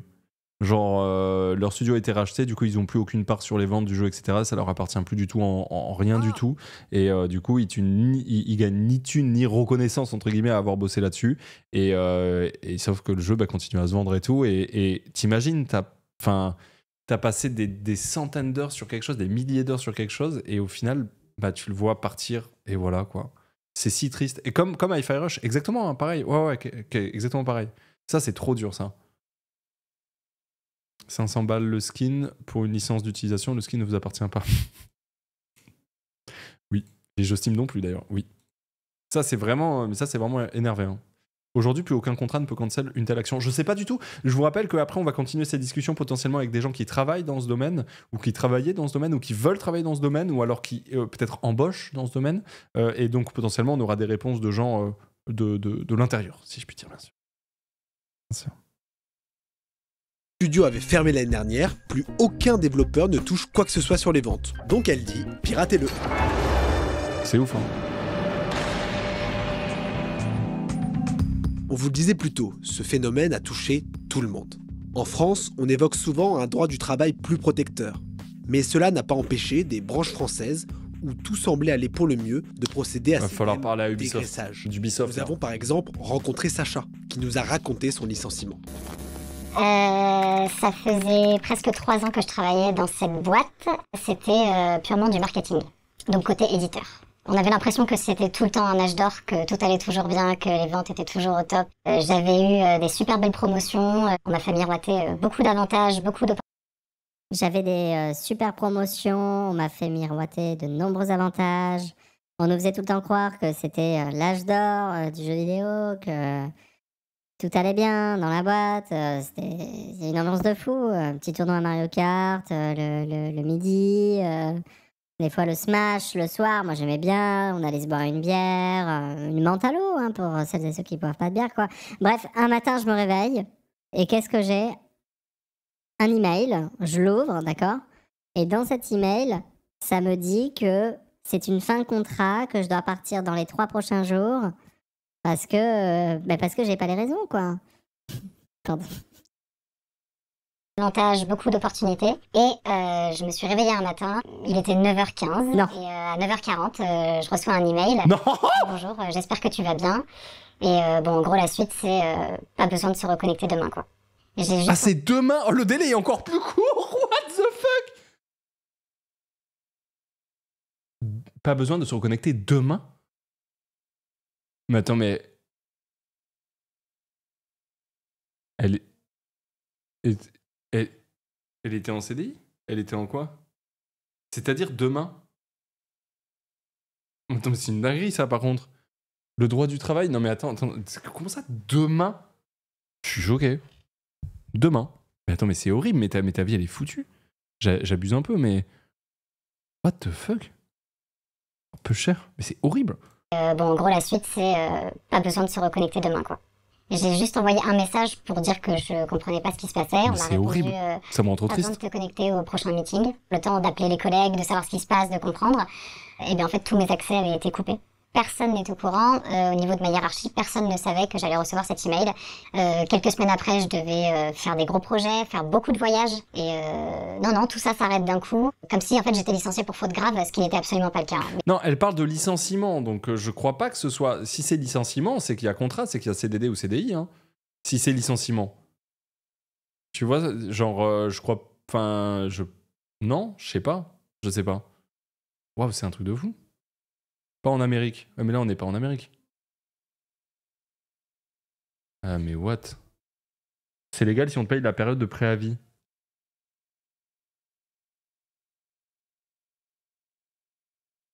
Ah, vous pensez à un petit Montréal Ubisoft, par exemple. Oui, d'accord. Moi, j'ai eu des collègues, ça a été se connecte à 9h, rendez-vous à 9h30, tu peux rentrer chez toi, t'as plus de boulot, 10h, leur accès était désactivé. Oh, ouah, c'est une dinguerie. C'est vraiment, c'est vraiment un truc de fou. Et euh, on avait l'impression que, que, que j'avais la lèpre, quoi. On n'a rien vu venir, rien du tout. C'était la surprise euh, absolue.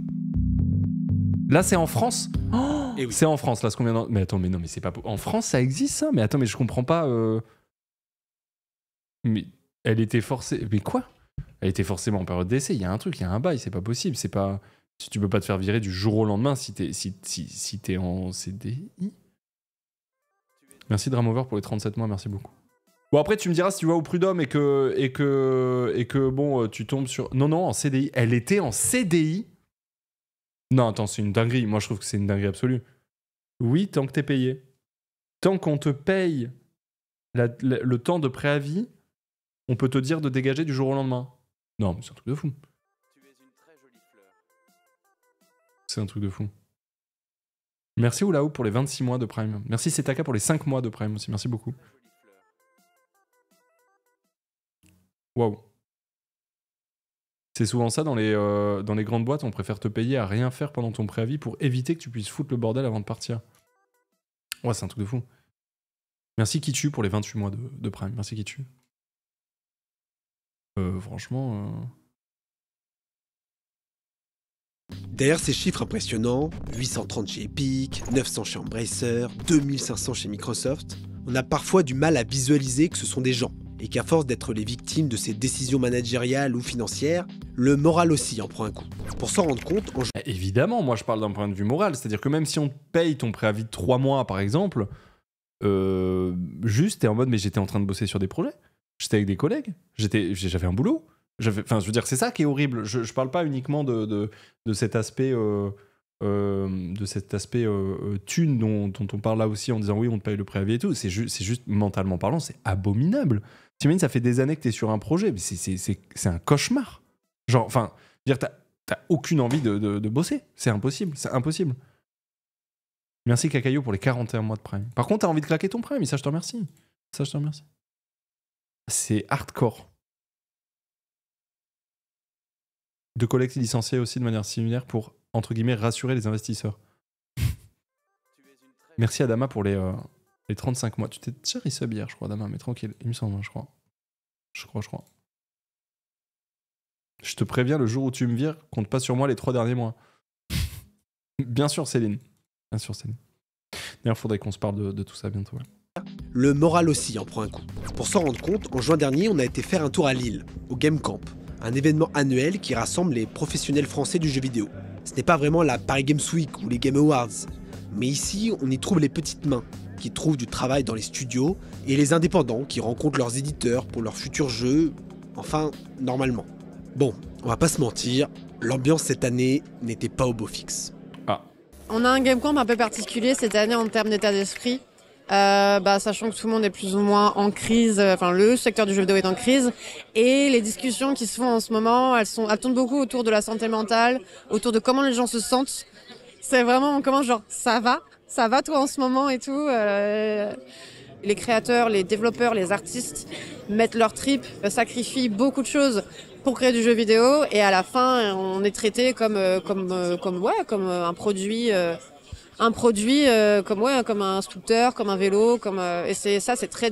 Euh, des gens travaillent sur le design des vélos, des scooters, des ingénieurs mettent au point des systèmes pour les rendre un petit peu moins euh, consommateurs, etc. Je trouve vraiment cette phrase extrêmement, extrêmement, extrêmement condescendante, si je peux me permettre. Non, c'est extrêmement difficile, ouais.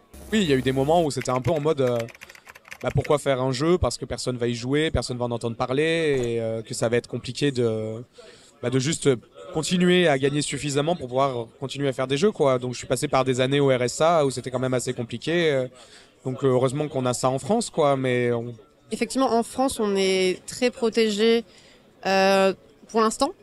Il y a le droit du travail de manière générale, euh, par rapport à d'autres pays qui est assez enviable. La création du jeu vidéo en France est assez euh, privilégiée. Ah oui, le CIJV, le crédit Ouais, le jeux vidéo. Ça, c'est un truc.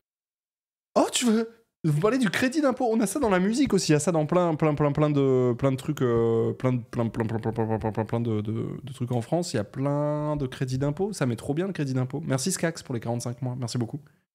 Le pour l'instant qui fait bien mal.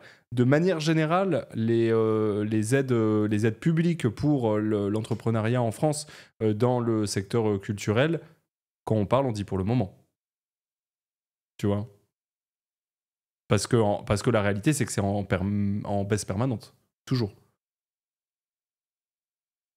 très important en France. C'est un dispositif d'exonération fiscale qui a hein. été créé en 2008.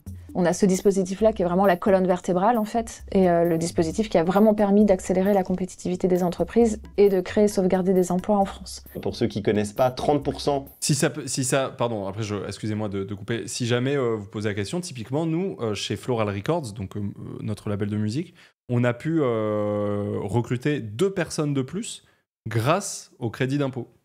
C'est-à-dire le crédit d'impôt t'apporte un financement que tu n'aurais pas eu sinon, et, euh, et du coup, ça permet euh, notamment de recruter des gens, littéralement. Donc, euh, donc trop cool. Permis d'accélérer la compétitivité des entreprises et de créer et sauvegarder des emplois en France. Pour ceux qui connaissent pas, 30% du coût de votre production d'un jeu vidéo, vous allez pouvoir l'écraser grâce à ce crédit d'impôt jeu vidéo. Et ça, c'est totalement vital au moment où on est dans un creux pour l'industrie. Et donc là, il y a le budget qui est en train d'être discuté à l'Assemblée. Euh, tout le secteur est mobilisé pour le crédit d'impôt jeu vidéo parce que pour le coup, ça serait dramatique. C'est-à-dire que sur les 15 000 emplois du jeu vidéo, et là, on peut de- faire un peu de dramaturgie, il y aurait facilement la moitié des emplois en France. Donc on aura un plan de licenciement de 5 à 7 000 emplois supprimés dans l'année qui suivrait la suppression du crédit d'impôt jeu vidéo. Mais ça, c'est suppression de n'importe quel crédit d'impôt, ce sera ça. hein. Ce serait ça vraiment. Oui, voilà, comme tu le dirais, Tozan, c'est un peu une épée de Damoclès. La réalité, c'est que le crédit d'impôt, si tu l'enlèves euh, évidemment dans le jeu vidéo, mais aussi dans la musique, dans le théâtre, dans, dans l'associatif, euh, dans, dans, dans, plein de choses, en fait, euh, dans, dans, la culture au sens large, t'enlèves le crédit d'impôt, je pense que la, la- la moitié des gens sautent, quoi. Tu vois mais, mais typiquement, la recherche, oui, tout à fait, la recherche. Typiquement, je parlais de Floral Records. Floral Records, ils sont, ils sont quatre à travailler à temps plein pour Floral Records. Il y a deux personnes sur ces quatre qui sont là parce qu'on a des crédits d'impôt, littéralement. C'est vraiment, hein, c'est grâce à ça. Je me permets de conseiller une vidéo en deux euh, longues parties qui recherchent des réponses aux problématiques posées dans cette vidéo, euh, bien qu'elles aient été publiées quelques semaines avant. C'est crise du jeu vidéo. Les jeux bizarres sont la réponse. Je note. Après, si c'est long, euh, compliqué aussi le, le React. Merci Tarapsel pour les 54 mois d'abonnement. Merci Tarapsel. Merci beaucoup. Quel crédit d'impôt tu parles? Euh, J'ai pas les noms des crédits d'impôt. Faudrait que Léo et JB soient là pour parler des, crédits d'impôt. J'ai pas les, pas les noms en tête. Mais euh, nous, c'est dans la musique, du coup. C'est un label de musique.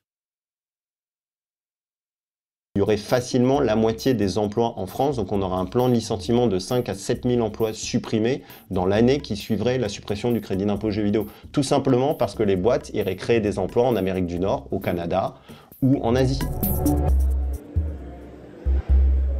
À cela s'ajoute tout un tas de controverses qui structurent l'industrie du jeu vidéo sur le sexisme, le harcèlement, euh, toutes les controverses sur les contenus.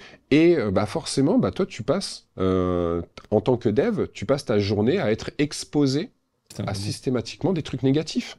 Parce que le marché va pas bien, parce que l'industrie va pas bien, parce que potentiellement tu te prends euh, des commentaires ultra négatifs sur ton, sur ton activité, sur ton jeu, machin, etc., par les communautés de joueurs et de joueuses, et boum, forcément, ça finit par exploser. J'aimais mon travail, j'aimais ce que je faisais. Et euh, bon, ça faisait presque deux ans que j'avais pas touché un anxiolytique et c'est à ce moment-là que j'ai commencé un peu à en reprendre. C'était euh, au final des symptômes très classiques euh, après un licenciement, mais des insomnies, plus d'appétit, voilà, ce genre de choses. Ah, Quand je vois que ces hein. postes-là, donc vraiment des, les gens qui ont les mains dans le cambouis littéralement, hein, se font licencier pendant que, que d'autres euh, s'en mettent plein les poches. Moi, ça me rend euh, malade. Et qu'on me fait comprendre que voilà, le fait d'avoir un CDI en France, euh, ça coûte cher, c'est trop problématique. Alors que ces patrons ont l'argent d'embaucher de, d'embaucher des gens en CDI, d'avoir des structures solides en France. Euh, non, c'est que de la colère, que de l'injustice. Et si En vrai, euh, je suis grave d'accord avec toi, Sacha, on est ensemble. Eh oui. les géants peinent à satisfaire leurs actionnaires, du côté des nombreux studios indépendants, l'avenir est encore plus sombre. Euh, le, le milieu indépendant, il est important dans l'industrie parce qu'en fait, il donne euh, un point de vue. Euh, L'indé, c'est là où se créent des tendances, c'est là où s'affirment certains genres ou certaines mécaniques qui ne peuvent pas s'a- s'affirmer euh, sur des plus gros projets. C'est une manière de presque prototyper en fait ce qui va être fait euh, dans le reste de l'industrie plus tard, quoi. C'est beaucoup de mal-être. Spoiler alerte, c'est vrai pour à peu près quel, n'importe quel milieu culturel. C'est-à-dire que euh, c'est vrai dans le cinéma, c'est vrai dans la musique, c'est vrai dans plein, plein, plein de milieux culturels.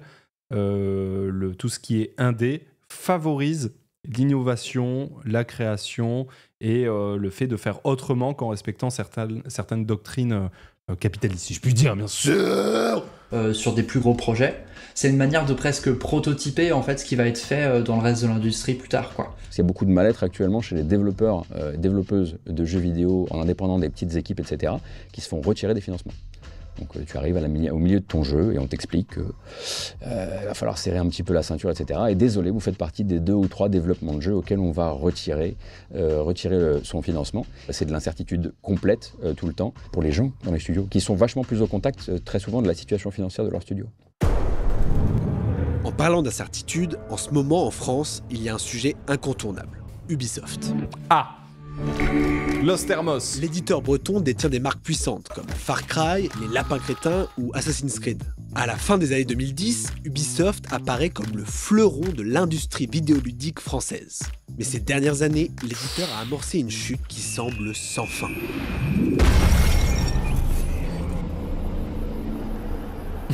Nice glitch, bro. Oh, le out of bounds. a en effet vécu une série noire. Bon, déjà, ils ont légèrement forcé sur les NFT avec leur plateforme Quartz, une énième innovation gaming massivement rejetée par les joueurs. L'image de l'éditeur s'effrite d'autant plus lorsque s'ouvre une enquête pour harcèlement moral et sexuel sur trois de ses cadres. Côté jeux vidéo, les échecs s'enchaînent aussi. Le coûteux Avatar Frontiers of Pandora n'a pas rencontré le succès escompté. Le projet X-Defiant ne s'est pas imposé comme un renouveau du genre. Et enfin, Skull and J'en ai. Oh, va, Skull and Bone, par contre. Ouf, les pauvres, ça me fait de la peine. hein. Ça a été reset mille fois et tout. C'est finalement sorti pour être l'un des plus gros flops de l'histoire du bi. Ça, ça me, ça me fait de la peine. Par contre, euh, euh, X Defiant, j'en ai entendu du très bon, moi. Enfin, je veux dire, euh, de par des joueurs et joueuses. Je veux dire, pas forcément d'un point de vue commercial ou quoi, mais moi j'ai entendu des gens dire que le jeu était très très bon, que c'était agréable d'y jouer, que, que franchement, euh, dès que des potes se chauffent pour y jouer ensemble, c'est trop bien, etc. etc. tu vois. Aucune nouveauté du recyclé. Ouais, je vois. Il y a plus personne dessus déjà? Mais non, c'est pas vrai. Ouais, ça, je sais pas.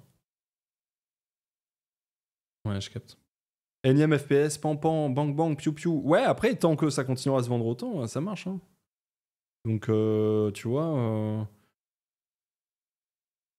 Par contre, euh, le jeu qui montrait après, la Skull and Bound, ça me fait trop de la peine.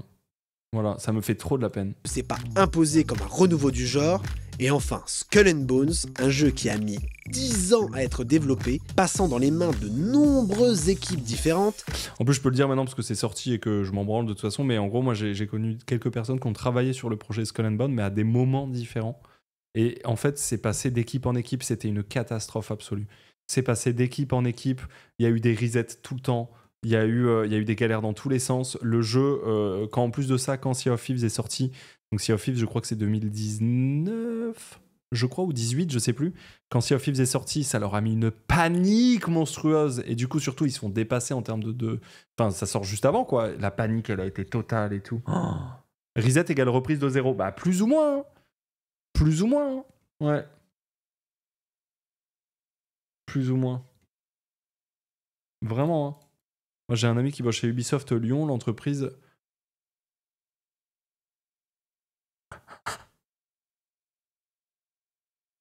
J'ai un ami qui bosse chez Ubisoft, Ubisoft Lyon. L'entreprise se fait en vérité atomiser par le wokisme. Les postes importants sont occupés par des gens incompétents recrutés pour d'autres raisons. si bien que les mauvaises décisions sont prises encore et encore. Eh, mais là, Squeletton, euh, tu as dit les termes. Tu as dit complètement les termes. Le wokisme est clairement le problème qui fait qu'actuellement l'industrie du jeu vidéo est en train d'éclater. C'est là tu t'as tout dit et ce serait difficile d'aller dire autre chose. Là, tu as tout dit. C'est-à-dire que c'est en train de pulvériser le, le jeu vidéo. C'est-à-dire que ce n'est pas du tout le problème de grands capitaux qui garderaient pour eux les milliards, c'est pas le problème de licenciement abusif, c'est pas le problème de gestion d'équipe, c'est le wokisme. C'est le wokisme, c'est le fait que effectivement, il faut parfois se battre pour que des minorités puissent s'intégrer un peu mieux et tout. C'est le problème numéro un. C'est le problème numéro un du développement du jeu vidéo. C'est très bien vu. Franchement, euh, c'est le problème. C'est le problème. C'est CQFD. Je ne vois que ça. Je ne vois pas d'autres problèmes. Je vois vraiment pas d'autres problèmes. D'ailleurs, ce matin, je me suis réveillé. Qu'est-ce que je fais? J'ai marché sur une paire de ciseaux qui était à même le sol que j'avais oublié hier. J'ai insulté quoi? Le Wokistan et l'ensemble de ses habitants. C'était encore une fois la faute d'une envie de tolérance et d'égalité entre toutes les minorités qui a fait que j'ai marché sur ce- ces putains de ciseaux. Et c'est ça qui a créé en moi l'énervement. Et c'est là où je me suis dit, ok, ok, il faut absolument que Trump, dans 7, 5 jours, soit élu. Parce que sinon, sinon qu'est-ce que- qu'est-ce qu'on va faire du wokisme en fait? C'est pas possible. On peut plus, on peut plus. On tient, on tient plus debout. Enfin, je respire plus. Tu vois, je respire plus. Je, dirais même plus, le problème c'est Ponce et Ultia, mais c'est peut-être même ça le problème. C'est peut-être même le problème. Non, non, mais du coup, euh, évidemment, fermons, euh, fer- fermons pardon, la, parenthèse de la débilité. Euh, arrêtez de trouver des problèmes là où il n'y en a pas. hein. Le problème, c'est le capitalisme et c'est la gestion des équipes. C'est à aucun moment l'envie de rendre les minorités un petit peu plus importantes aux yeux de tout le monde. Et c'est c'est vraiment pas ça, vraiment. Genre, moi, je l'ai déjà dit et je continuerai à le dire, hein, désolé, hein, mais l'utilisation du mot woke, wokiste ou wokisme premier degré est pour moi preuve d'un déni profond des problèmes de la société et aussi preuve d'un manque cruel de connaissance de l'histoire et de tout, tout ce qui se passe autour de vous. Vraiment. L'utilisation premier degré de ce terme, c'est- assez hallucinant comme ça. On dit très très très long sur le manque complet de connaissances et le déni surtout, le déni ultime. Le déni ultime, quand tu te fais chier dessus par des euh, multimilliardaires, quand tu te fais chier dessus par euh, la hiérarchie, etc., penser au wokisme, c'est une dinguerie. Genre vraiment, c'est une dinguerie. C'est se voiler la face, quoi. C'est, c'est hallucinant. C'est hallucinant. Et oui, ça, mais après, voilà, on va dire que je suis condescendant si c'est ça, mais c'est un petit peu un détecteur à idiots. Après, j'aime pas trop ce terme parce que, parce que, encore une fois, on n'a pas toutes et tous accès aux mêmes choses, aux mêmes moments, etc. Donc, tranquille, tu vois. Mais, euh, mais non, non, faut, faut arrêter, quoi. Faut arrêter. Vraiment, c'est très grave. Très, très grave. Ouais. Très, très grave. Ça s'appelle le déni. C'est le déni. C'est le déni. euh, c'est le déni, hein, vraiment. hein. C'est le déni. Donc, euh, donc voilà. Très bien.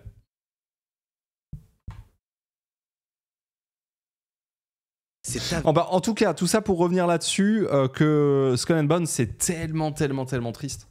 Tellement triste, ça aurait pu être un banger. Alors apparemment, il y a des gens qui ont kiffé. Hein. Apparemment, il y, a déjà quand- y a des gens qui ont kiffé. Hein. Mais j'avoue, moi, j'ai pas...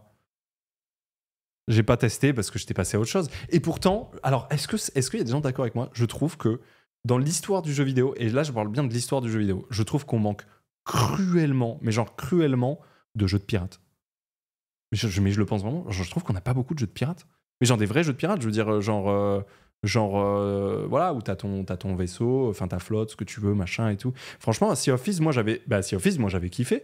Euh, mais personnellement, Sea of Thieves, j'ai fait toutes les quêtes. Au bout d'un moment, je suis en mode, bon, bah c'est bon, j'ai- fait ce que j'avais à faire, quoi. Tu vois, euh, mais même, vous vous rappelez à l'époque de. C'était comment il s'appelait déjà ce MMO Allods Online. Vous vous rappelez ou pas Assassin's Creed Black Flag, le GOTS, toujours imité, jamais égalé. Ouais, voilà, oui, mais là, vous me citez trois jeux. Vous vous rendez compte comment ça fait pas beaucoup en vrai? C'est pas beaucoup, hein. Il y a pas beaucoup de jeux, hein. Non, c'était Allods. Allods Online, c'était. La preuve qu'il n'y en a pas beaucoup, hein. Il n'y en a vraiment pas beaucoup. Ouais, on va me dire euh, Black Flag, on va, on va me dire, euh, on va me dire Sea of Thieves, on va me dire. Vous en avez cité un autre tout à l'heure là, je sais plus lequel. hein. Euh, je sais plus, je sais plus lequel. Mais bref, Secret of Monkey Island, Tales of Pirates, je connais pas ça. Zelda Wind Waker, non mais tu vois ce que je veux dire. Non mais tu vois, genre typiquement un, MM MMO euh, pirate, je sais que ça a été testé notamment avec Allods à l'époque, mais un MMO euh, pirate, mais quelle dinguerie, quelle dinguerie, tu vois. En vrai. B du butin dans World of Warcraft. Mais arrêtez, arrêtez, arrêtez. Après, dans, dans Starfield, on pirate des PC, ça marche? Non, pas ce genre de putain, mais vraiment, vous voulez pas de pirates. Hein. Vous voulez vraiment pas de pirates. Attends, attends, je vais vous montrer un truc, moi. À l'odds. Non, mais tu t'en rappelles, c'était pas pirate. Non, c'était pas pirate, mais il y avait une, énergie. Si je parle bien de. Waouh. Dans ma tête, le jeu était magnifique. Après, je sais que c'est vieux, mais. À l'odds online. Attends, mais il n'y avait pas de combat de vaisseau qui vole dans Allods Online? Attends, je confonds, je crois. Oh, ça, c'est Allods Online J'ai l'impression qu'ils sont inspirés d'un MMO qui s'appelle genre. euh, comment s'appelle euh, Ouais, euh, genre. euh, euh, ah, je l'ai sur le bout de la langue là. Ah Attends, comment ça s'appelle? Ah, je l'ai sur le bout de la langue. Ah, je l'ai sur le bout de la. Ah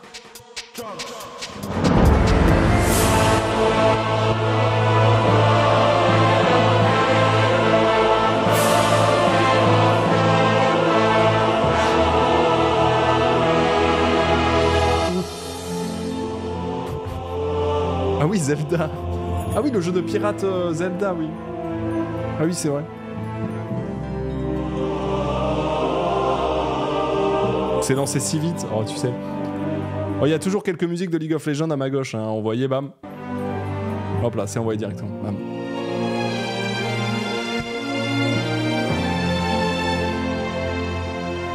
Bref, euh, excusez-moi, continuons ce, ce reportage. Excusez-moi. C'est pas imposé. Ah, je suis fan de One Piece, mais j'en suis pas sûr que ça soit une bonne idée. Ça reposerait trop sur ça, ce serait vite comme Hogwarts Legacy-like, mais je serais trop chaud pour plus de jeux pirates. Oui, plus de jeux pirates, ouais. C'est vrai que Hogwarts Legacy, c'est quand même. euh, ouais. comme un renouveau du genre. Et enfin, Skull and Bones, un jeu qui a mis 10 ans à être développé, passant dans les mains de nombreuses équipes différentes, s'est avéré être un véritable naufrage. Ah, ça fait trop de la peine, ça me fait trop de la peine. On a la fameuse attrition naturelle, comme disait Yves Guillemot, Euh, c'est-à-dire qu'effectivement, on en souffre et les gens ne sont pas particulièrement en sécurité. Naufrage, pas mal. Yves Guillemot, PDG d'Ubisoft, parle en effet dans un rapport financier de janvier 2023 d'attrition naturelle.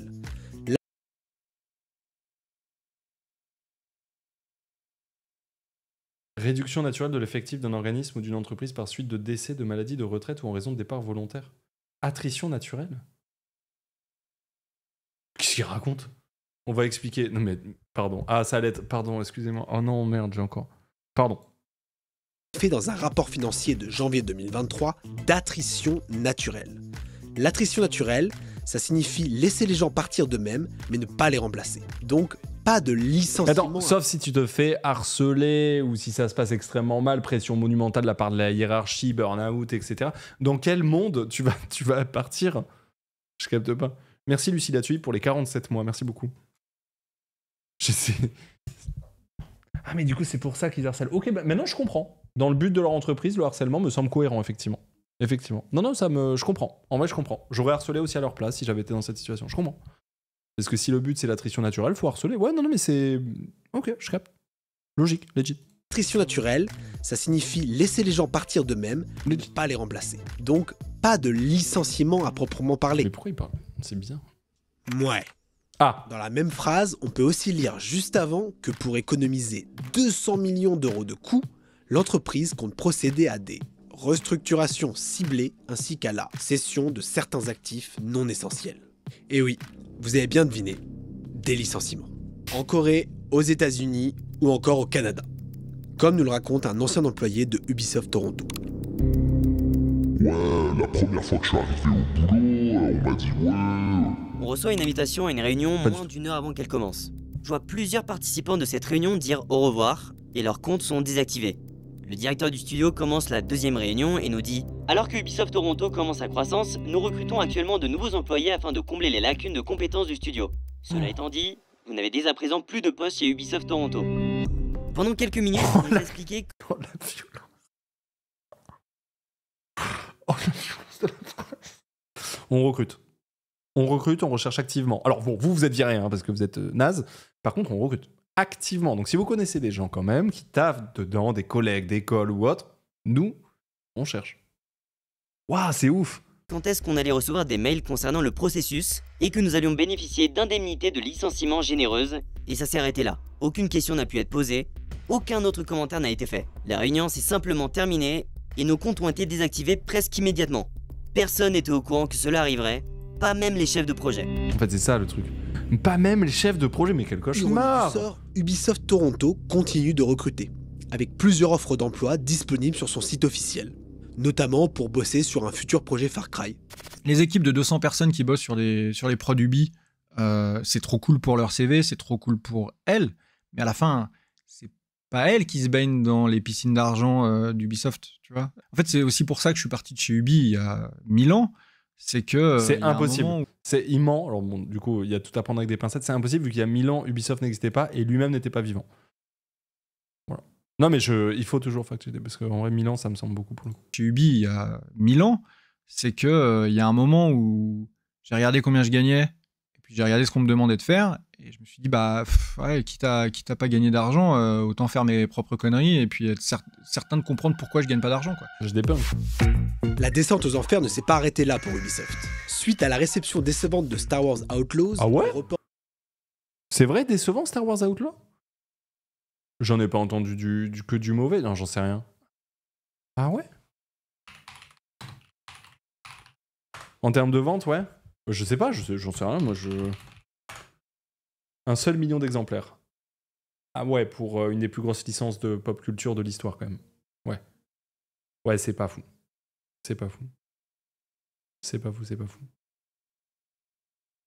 C'est ok, mais ça cartonne pas, donc mais. Bah, en vrai, euh, un million de- d'exemplaires vendus pour, euh, pour un jeu Star Wars, oui, c'est pas beaucoup, effectivement.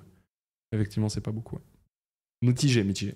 du prochain Assassin's Creed Shadows, le cours en bourse de l'entreprise a continué de chuter. Quand l'action coûtait 85 euros en janvier 2021, elle est tombée fin septembre 2024 autour de 9 euros seulement. Non. Non, non, non. Oh non, mes actions. Oh, mes actions Ubi. Hop, hop, hop. Oh, mes millions. Divisé par 10. C'est un truc de fou.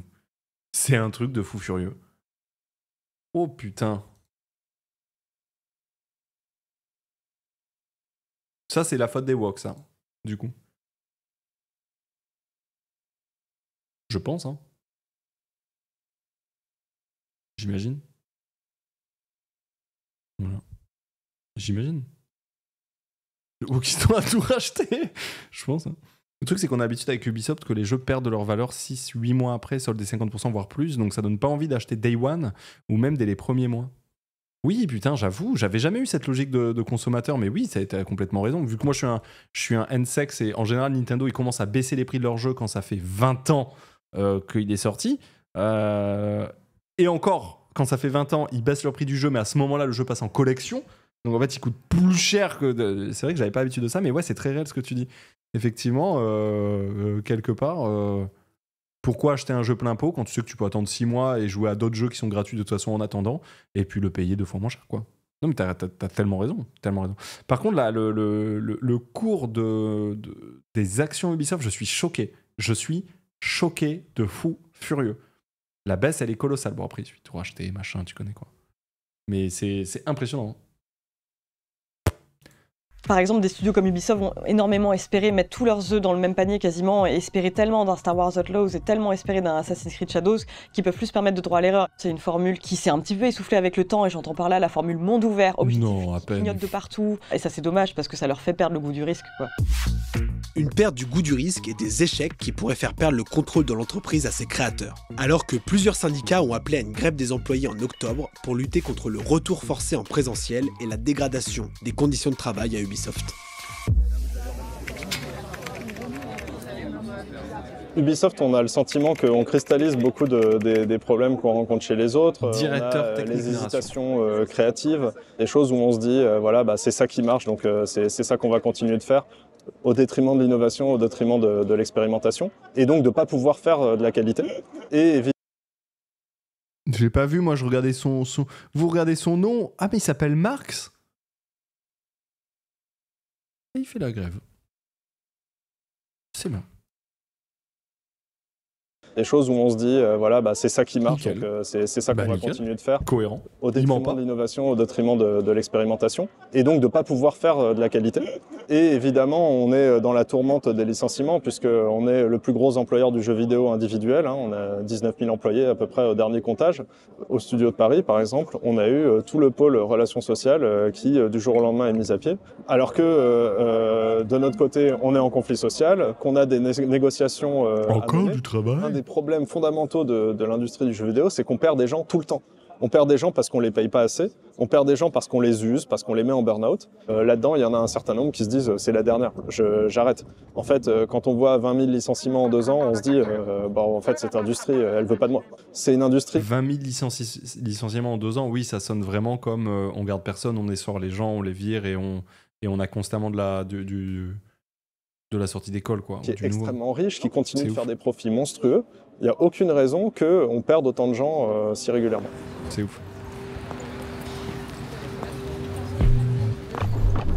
31 700, c'est le nombre estimé de licenciements dans l'industrie du jeu vidéo depuis 2022. Ces trois dernières années, un employé du jeu vidéo sur 10 a perdu son emploi dans le monde. Devant une telle hécatombe, même les gardiens du temple ont fini par admettre qu'il y avait peut-être un problème. L'occasion de retrouver ce cher Jeff Kelly. Et oui, il s'est exprimé publiquement sur le sujet, en ouverture de la conférence Summer Game Fest 2024, en essayant tout de même de voir le verre à moitié plat. But let's also face it, this has been a tumultuous and difficult year with company layoffs and studio closures, which have disappointed all of us. But there's also something else happening. Our industry is evolving and changing. And thanks to digital distribution, smaller teams and new creators are finding incredible success. Oui, mais l'un n'empêche pas l'autre. Hmm. Bat Non, mais enfin, je veux dire. euh, Je, je comprends pas. euh, Je, je sais pas. Quel rapport en fait Quel rapport en fait euh, sais pas pourquoi il dit ça. Il y a énormément de licenciements dans le jeu vidéo.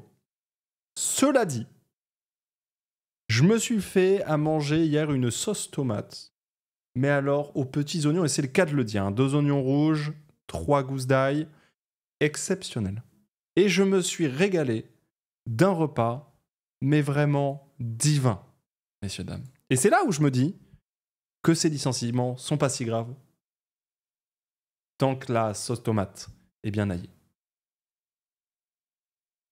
Place à la convention, messieurs, smaller teams and new creators are finding incredible success. It's a reminder to big companies that they have to treat their developers right because today there are many paths to sustainability and success. And that's what makes this industry so, so great. Bien traiter ses employés, ou peut-être tout simplement s'en passer. En quête de toujours plus de profit, les exécutifs cherchent de nouvelles solutions et ont peut-être trouvé le Graal avec l'intelligence artificielle générative pour créer des jeux plus rapidement. Écoutons par exemple Andrew Wilson, PDG d'Electronic Arts, en parler lors d'une conférence en mars dernier. We're in the era of generative AI, which is the most exciting yet by a fairly wide margin and something that we're embracing deeply. Um, we think about it on three core vectors um, efficiency, expansion, and transformation.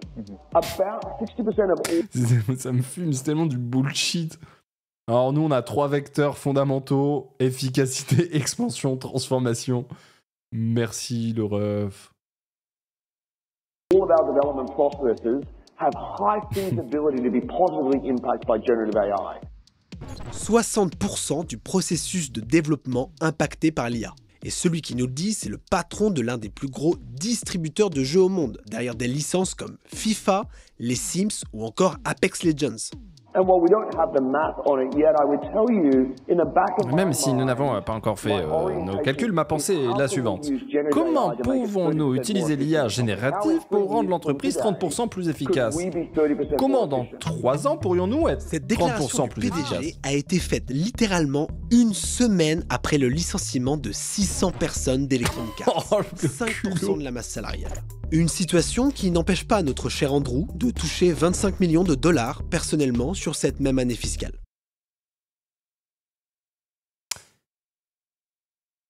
Et ouais. Et tu vois, il enlève, franchement, hein, franchement, il enlève 5 millions. Il garde tous les employés qu'il a virés. Et il gagne quand même 20 millions sur son année, c'est ok, tu vois. Mais ça doit être, à mon avis, la faute, encore une fois, des Wok. Je pense, clairement. Encore une fois. Je pense, hein. Honnêtement, je pense que c'est leur faute. Je pense que c'est la faute euh, de toute la commu LGBT au sens large, en réalité. Quand on voit des chiffres comme ça, on peut, on peut penser qu'à ça. Je peux me permettre Si je peux me permettre, je veux pas, encore une fois, je veux pas, voilà, je sais que je peux être un petit peu, un petit peu incisif là-dessus, mais euh, ça m'a l'air quand même d'être vraiment la, la raison hein, quand on regarde un petit peu ça. Ça- C'est clairement à cause des autres. Non, c'est ouf. Après, ça marche pas exactement comme ça non plus, mais oui, dans le fond, t'as pas tort. Si, si, ça marche exactement comme ça. Si, si. Si, si, complètement. Ça marche complètement comme ça. Si un PDG d'une grande entreprise décide de se payer euh, 20 millions au lieu de 25 millions, ça fait 5 millions de plus dans la boîte, ça fait 5 millions que tu peux utiliser pour autre chose. Si, si, ça, ça, si, si, ça fonctionne comme ça. Tout à fait. Ça fonctionne comme ça, il y a plein d'entreprises qui le font. Et ça fonctionne comme ça, ouais. Bien sûr. Voilà. Je vois pas en quoi ça fonctionnerait pas comme ça. Tout simplement. Voilà. L'IA ou comment transformer ton jeu fade et générique en jeu ultra fade et ultra générique, le quintuple A de 2025 est devant vous, messieurs, dames. Merci chez pour les 18 mois de, Prime. Beaucoup. Donc, euh, si, si, c'est vraiment ça, quoi. C'est de la répartition de masse salariale. C'est la même chose, c'est pareil. Voilà, c'est pareil. Voilà. Après, si vous souhaitez sucer goulûment des multimillionnaires en disant ouais, mais bah, grand bien vous fasse. euh, moi, je peux dire t'inquiète, tu peux, t'inquiète, il peut, il peut complètement faire ça. Et d'ailleurs, je pense du coup parce que t'as dit ça, Pierre. Je pense que t'en parles, mais typiquement, c'est ce que font certaines boîtes dans le jeu vidéo. Tu verras. Voilà. Sur le papier, l'IA pourrait être un formidable outil permettant d'accélérer certains processus de codage ou de programmation, qui peuvent être parfois répétitifs et fastidieux. Vraiment, c'est juste pour de l'aide. Ouais, ouais, jusqu'à ce que ça soit prêt pour que ça soit autre chose que de l'aide, quoi. Donc, euh, allez-y, les gars, faites... générez vos jeux. Euh, en tant que game developer, en fait, on se dit, mais euh, dans quel monde vivent ces gens euh, qui ont probablement pas touché à de la production de jeux vidéo depuis des années C'est-à-dire que quand on fait de la production d'assets pour du jeu vidéo, notamment en tant qu'artiste, on répond à des, à des contraintes précises, euh, que ce soit des contraintes de taille, de résolution, de, de, de style de couleur. On a besoin d'itérer en fait et de faire plusieurs versions de la même chose. L'IA, elle permet pas de faire ça. Il y a aucune consistance dans l'IA. Voilà, le, le verre à moitié vide, le verre à moitié plein. À moitié vide, c'est la destruction d'emplois possible sur les devs euh, juniors. notamment. Oula. Le Oula. verre à moitié plein, c'est la capacité à dire à des IA assez perfectionnées, no- notamment sur ce qu'on appelle l'IA environnementale, de dire bah, dans cette scène de jeu où d'habitude j'ai des millions de passants qui interagissent avec mon personnage principal, donne-moi euh, donne-moi euh, des milliers et des milliers de comportements euh, différents pour que la foule euh, donne une impression vraiment hyper qualitative. Donc il y a, il y a une- un potentiel de création énorme et il y a des menaces sur l'emploi, c'est vrai aussi. Donc il va y avoir de la destruction et de la recréation sur des postes nouveaux. Euh, pourquoi j'ai fait un x2 là? Qu'est-ce qui s'est passé? Ouais. Il faut voir le verre. Non, mais après voilà. Et rien à foutre de ta dépression. Essaye de voir le, le verre à moitié rempli, quoi. Fais un effort, non? Je sais pas. Et tu vas voir, le monde sera beaucoup plus beau. Et faites, faites un effort, putain. Le verre à moitié plein, il est, il est, il est cool, quoi. Il est cool. Il est cool, il est cool. Oui, pardon, j'ai appuyé longtemps sur la souris. Euh, ouais, ouais, ouais, ouais, ouais. Moi, j'ai, moi, j'ai beaucoup de mal à. bah, peut-être qu'on pourra discuter tout à l'heure avec des devs ou quoi, de toute façon, qui, euh, dont c'est le, dont c'est le, le, le, métier, les sujets, etc. Mais euh, moi, j'ai beaucoup de mal avec cette question de l'IA parce que j'ai pas les mains dans le cambouis, donc en fait, je me rends pas compte très exactement de ce que ça, de ce que ça peut impliquer parce que je suis personnellement pas choqué par une utilisation d'IA euh, par des artistes euh, qui, euh, qui utiliseraient l'IA pour euh, effectivement euh, créer plusieurs itérations d'une chose déjà faite ou, euh, ou euh, je sais pas si vous voyez ce que je veux dire ou alors euh, pour euh, effectivement générer potentiellement je dis n'importe quoi hein, par exemple des décors 3D pour ensuite les travailler mais avoir un socle solide à la base tu vois enfin voilà c'est ça l'IA ça doit être un outil pas plus oui c'est ça mais je vois je vois complètement l'outil en fait en fait, je vois complètement l'outil et, et en ce sens-là, ça me choque pas trop, tu vois. Genre, euh, moi, je suis dans le JV, chaud d'en parler quand tu veux. Ouais, de ouf. Bah, De toute façon, on va en parler après. hein. Mais euh, ça me choque pas dans cette utilisation et, genre même moi, j'ai des potes euh, euh, IA Euh, pas du tout. Mais j'ai des potes artistes. Je pense notamment à un ami bah, que vous connaissez, par exemple Lobster. Euh, certains, certains connaissent Lobster, avec qui on a sorti une écharpe notamment et qui qui est tatoueur. Bah, lui, par exemple, il travaille avec l'IA sur certaines choses, pas sur ses créations, mais sur euh, sa manière d'imaginer des choses, tu vois, typiquement. Je sais, alors, oh, je vous en parle mal parce que je suis pas, encore une fois pas, lui, quoi. Mais euh, en gros, il s'en sert comme, comme, euh, comme inspiration, base de travail et- et visualisation de certaines choses. Je sais pas si vous voyez ce que je veux dire. Pour un mood board, ce genre de choses, peut-être. Par exemple, c'est ce genre de choses, ouais. Merci Axel pour les 35 mois de, de Prime, merci à toi. Et tu vois, ça me choque pas. Genre, euh, ça me choque pas euh, spécialement, quoi. Booster pour des maquettes, flinguer pour les rendus. Oui, ok. L'horreur existentielle euh, de l'usine de trombone, je connais pas ça. hein. En gros, ça remplace un directeur ou un producteur artistique. Non, pas vraiment. Non, pas vraiment. Ça va remplacer plutôt, euh, on va dire, je dis un peu nimp, mais quelques, quelques heures de, de travail qui ne t'auraient pas apporté création ou quoi que ce soit, qui auraient été juste des heures de travail pour voir un truc. Plutôt ça. Ah, vous parlez de la vidéo d'Ego Oui, d'accord. J'en ai entendu parler, mais je l'ai pas vu. Je l'ai pas vu, je l'ai pas vu. Merci Vlad pour les 10 mois d'abonnement. Merci beaucoup Vlad. Donc je sais pas, je sais pas. Je sais pas. Après, ce qui est, ce qui est sûr, c'est que de toute façon, les IA sont alimentées par euh, les créations humaines. Et donc, en fait, euh, in fine, jamais de la vie, une IA remplacera un humain. Vu qu'une IA est fournie par l'ensemble de la création humaine, ça veut bien dire que la création humaine est unique et que c'est elle qui sert l'IA. Donc, à un moment donné, ça ne peut pas aller dans l'autre sens IMO. Tu t'en servirais pour la musique de l'IA Non. Non, non, non. euh, bah, tu peux pour rigoler, mais euh, non. Sinon, non. Sinon, non. Pour le moment. Bah, euh, du coup, l'IA se nourrit de quoi si l'IA, tu vois? Je sais pas. différent pour que la foule donne une impression vraiment hyper qualitative. Donc il y a, un potentiel de création énorme et il y a des menaces sur l'emploi, euh, c'est vrai aussi. Donc euh, L'IA se nourrit de l'IA. Mais donc, si l'IA se nourrit de l'IA qui se nourrit elle-même des artistes, ça veut bien dire qu'il faudra toujours des artistes. Après, moi, je travaille au quotidien avec des artistes, donc je vous cache pas que je suis, je suis de base. De base, laissez nos artistes tranquilles. Laisse-les faire leur bail, tu vois ce que je veux dire? Voilà. Tu penses combien de pourcentage des tafs dans le monde font appel à de la création personnelle? Ah, ça, je sais, oh, j'en ai aucune idée. Non, ça, je sais pas. C'est trop compliqué. Ça, je sais, je sais pas. Il y a, il y a une- un potentiel de création énorme et il y a des menaces sur l'emploi, euh, c'est vrai aussi. Donc euh, il va y avoir de la destruction et de la recréation sur des postes nouveaux. C'est bien Et l'IA générative fait globalement peur aux développeurs. Comme le montre un sondage auprès de la Game Development Conference, qui regroupe plus de 3000 professionnels du métier. 84% d'entre eux sont inquiets sur la question. Souvent, par exemple la problématique de diminution des effectifs en remplaçant les gens par des IA. Un phénomène qui, à vrai dire, a déjà commencé pour certains cœurs de métier.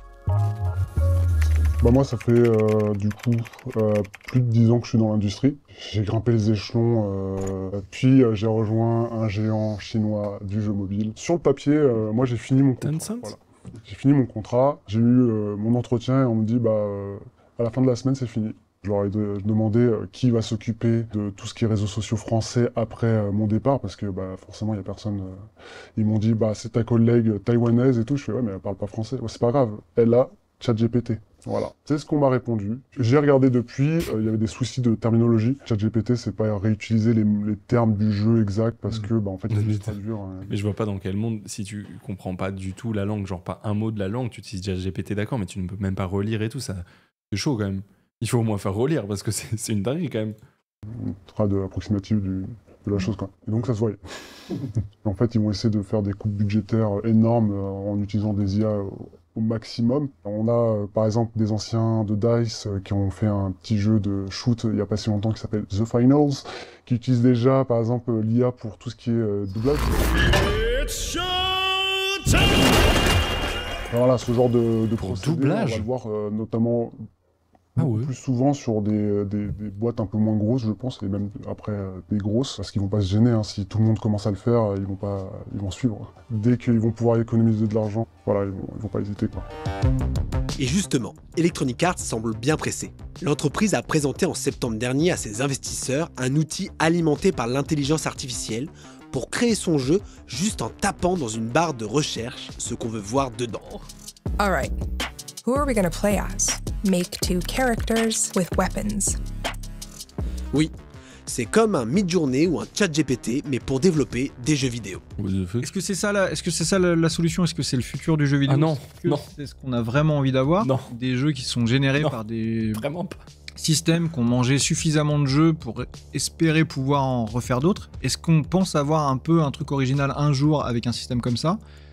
Ou est-ce que on faudrait peut-être continuer à faire un peu confiance à l'humain, quitte à ce que ça coûte un peu plus cher? Nous, au CEL, on suit de très très près euh, l'IA. Le combat premier euh, du, du CEL, euh, c'est la propriété intellectuelle. Parce qu'en fait, un jeu qui serait 100% fabriqué par de l'IA, aujourd'hui, on s'interroge sur comment le droit d'auteur serait protégé de tel et tel éditeur. Donc nous, on revendique par exemple, pour être super concret, qu'un jeu, il faut qu'il y ait des marqueurs qui permettent de suivre comment il a été fabriqué, quelle dose d'IA il y a.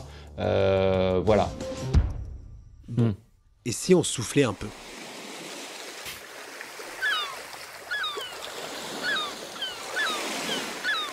Ça va être le moment où on parle de Nintendo là? Ce serait malhonnête de ne pas citer les quelques bons élèves qui subsistent. Des sociétés qui gardent leurs employés et ont refusé d'utiliser l'intelligence artificielle générative. La plus connue s'avère être Nintendo. Mais en l'occurrence, dans les équipes de développement qui font les Mario, qui font les Zelda, etc., on sait euh, que tu peux envisager une carrière. On sait que tu Voilà. peux, euh, tirer euh, de la force euh, de- des enseignements Créateur chez Nintendo depuis 1977. de tes Miyamoto. aînés, de gens qui sont devenus des sommités dans leur génération de créateurs de jeux vidéo, et qu'ensuite on- tu auras potentiellement une chance, et c'est une espèce de ouais, une culture assez saine, en tout cas qui correspond à la manière, à- au jeu qu'ils ont, envie de- ils ont envie de faire. Ils se font cruncher Euh, la gueule. c'est hein, mais- intéressant de se poser- Ils se font cruncher la gueule. Mais, mais en fait, c'est ça. Je trouve que ce qui manque dans le jeu vidéo, c'est euh, actuellement, et, et ce pourquoi euh, l'industrie aussi rencontre des galères et tout, c'est qu'à un moment donné, euh, quand, euh, bah, tu vois, il parle de carrière dans le jeu vidéo. Quelqu'un qui bosse sur des jeux Mario depuis, je dis n'importe quoi, depuis 89. Aujourd'hui, il est vachement au fait de ce qui a été testé, de tout ce qui a été implémenté, enlevé, euh, essayé, supprimé, modifié, jeux sortis, etc. En fait, il faut des équipes durables pour les jeux, surtout, surtout pour, des, pour des, euh, des studios qui auraient des licences évidemment pérennes. Tu vois, genre, euh, c'est- en fait, c'est ce qu'il faut.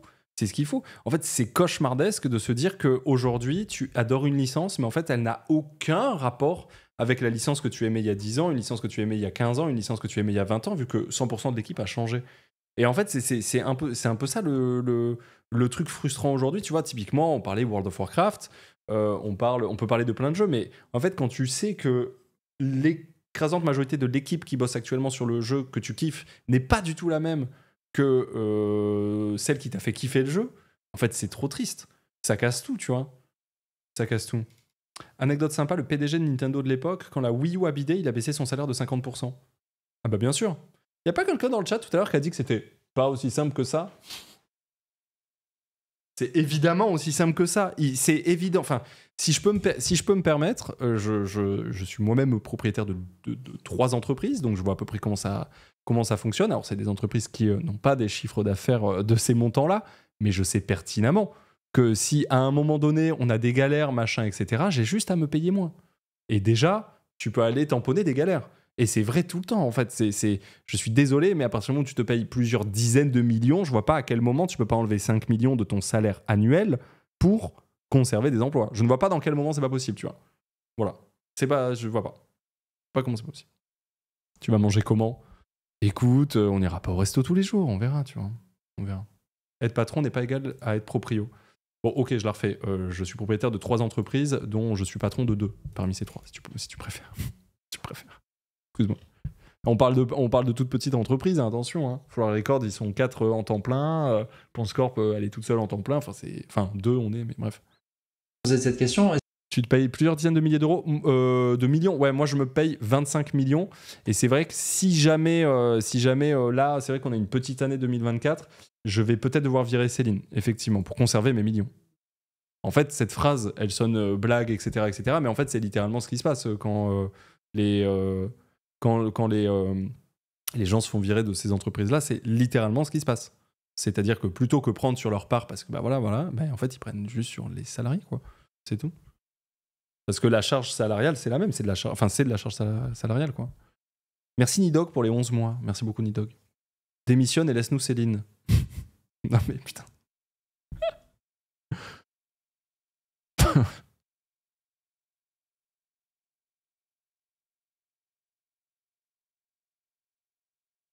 C'est aussi intéressant de se poser la question de euh, ce qu'ont pu faire Nintendo dans des situations de crise où en fait simplement les high executives euh, touchaient moins de salaire et Ah bah voilà. volontairement essayaient d'éponger La moitié. Le PDG Nintendo a déjà réduit son salaire de moitié pour éviter les licenciements et cela a fonctionné. Pourquoi c'est si rare aujourd'hui? Bah Parce qu'ils veulent juste des thunes, ils en ont rien à foutre de la boîte. Soyons... Non mais soyons honnêtes deux secondes. Je veux dire, euh, pourquoi c'est si rare aujourd'hui? Parce que vraiment, euh, vraiment quelqu'un qui gagne ses 25 millions euh, euh, annuels en a rien à battre de la boîte. Tant qu'il prend ses millions, mais vraiment rien à battre. Genre, euh, enfin c'est... en euh, touchant moins d'argent. Parce qu'en fait, en, en soi, c'est eux les responsables. Mais non, c'est Et il y a aussi les Belges de l'Ariane Studios. Cela même le 3. titre du meilleur jeu de l'année 2023 avec Baldur's Gate 3. Ils sont connus pour leur méthode de travail responsable qui gardent leurs effectifs au fur et à mesure, développent sur le long terme avec des accès anticipés pour bien prendre en compte les meilleurs retours des joueurs, et paient les heures supplémentaires en cas de période de crunch ou surtravail, ce qui n'est pas non. toujours acquis dans l'industrie. Et ça paye. Baldur's Gate 3 a non seulement raflé des prix dans tous les sens, mais c'est surtout un énorme succès commercial, avec plus de 15 millions de copies vendues dans le monde. Ça, c'est le chiffre, il est colossal. Merci à Garé pour les, pour les 50 mois d'abonnement. Merci beaucoup de Prime. Ah, des gens dans le chat qui écrivent Mais non, c'est belge Ouais, ouais, c'est. C'est belge. Il y a une justice. Ben, en vrai, je trouve. Alors, bon, j'y ai pas tant que ça joué euh, à Baldur's Gate. J'ai joué quoi? J'ai joué. euh, euh, une centaine d'heures, même, pas, je crois. Mais en vrai de vrai, je trouve que quand on joue à Baldur's Gate 3, on. Ah, 137 heures quand même. Je trouve qu'on se rend compte qu'on joue à un jeu qui a été fait avec amour, qui a été fait aux petits soins. Et je, je sais pas, je trouve vraiment qu'on se rend compte de ça, tu vois. Dans, dans, dans plein, plein, plein de, de situations, tu te, te- tu te dis, tiens, putain, ça se sent. Il y a, une, il y a, il y a, il y a de l'amour, il y a de la passion, il y a du temps, il y a de la. pff, Il y a de l'envie, quoi. Ça va, 137 heures sur Baldur's Gate 3, ça va. Mais je trouve que ça se, sent- ça se sent, ouais, ça se sent. Ça se sent à fond, quoi. Avec plus de 15 millions de copies vendues énorme. dans le monde. Euh, L'une de leurs marques de fabrique. Tu le sens pas trop quand tu joues à Pokémon. Mais ça me fait plus de la peine qu'autre chose pour Pokémon. Ça me fait plus de, la peine. En vrai, moi, ça me fait de la peine. Hein. Pokémon, ça me fait juste pitié. Voilà, je le dis. Ça me fait juste pitié parce que les devs, ils s'en veulent aujourd'hui, quoi. Ça me fait trop de la peine, en vrai. Trop, trop de la peine. Trop de la peine. ce qui n'est pas toujours acquis dans l'industrie. Et ça paye. Baldur's Gate 3 a non seulement raflé des prix dans tous les sens, mais c'est surtout un énorme succès commercial, avec plus de 15 millions de copies vendues dans le monde. Euh, L'une de leurs marques de fabrique, ça a été justement de se, de se dire Baldur's Gate 3, on n'aurait pas pu le faire il y a 15 ans, parce qu'il y a 15 ans, on n'était pas qui on est en tant qu'équipe. Tout ce qu'on a accumulé nous a amené à un moment assez clé où les financements étaient là, où la, où la licence était là, où les joueurs étaient là, etc., etc., nous amène à ce moment clé. Euh, mais en l'occurrence, pour ça, il a fallu prendre des gadins ensemble, et des gadins, euh, l'Ariane en ont pris euh, un sacré nombre tout de même, avant de créer les Divinity Original Sin, qui sont deux jeux euh, qui se sont mieux vendus euh, que, euh, que les autres. Et c'est également intéressant parce que l'Ariane n'est pas une société cotée en bourse. Et c'est aussi ce qui lui permet d'avoir sa propre stratégie. Alors évidemment, il y a des comptes à rendre parce que ça n'appartient pas aux cofondateurs uniquement, euh, l'Ariane, bien sûr, mais ça n'a pas effectivement à rendre les mêmes comptes durant le bilan trimestriel, durant le semestriel, etc. etc. Le créateur du studio Sven Binke n'a jamais eu la langue dans sa poche sur l'état de l'industrie et les pratiques qui y règnent. Même Oh oui, gagne une cérémonie prestigieuse, Putain. il ne manque pas de s'étendre sur le sujet. about stopping the greed, which has been fucking this thing up for so long, so long, ever since I started, ever since I've been fighting with publishers my entire life. So it's like, and I keep on seeing, I keep on seeing the same, same, same mistakes over and over and over, and it's always the quarterly profits. The only thing that matters is the numbers, and then you fire everybody, and then, like next year, you're going to see, shit, I'm out of developers, and you're going to start hiring people again, and then you do acquisitions, and then you put them in the same loop again, and it's just been broken and broken and broken. You don't have to. You just can make reserves, Slow down a little bit, slow down on the grid. En fait, c'est ça. C'est du grid.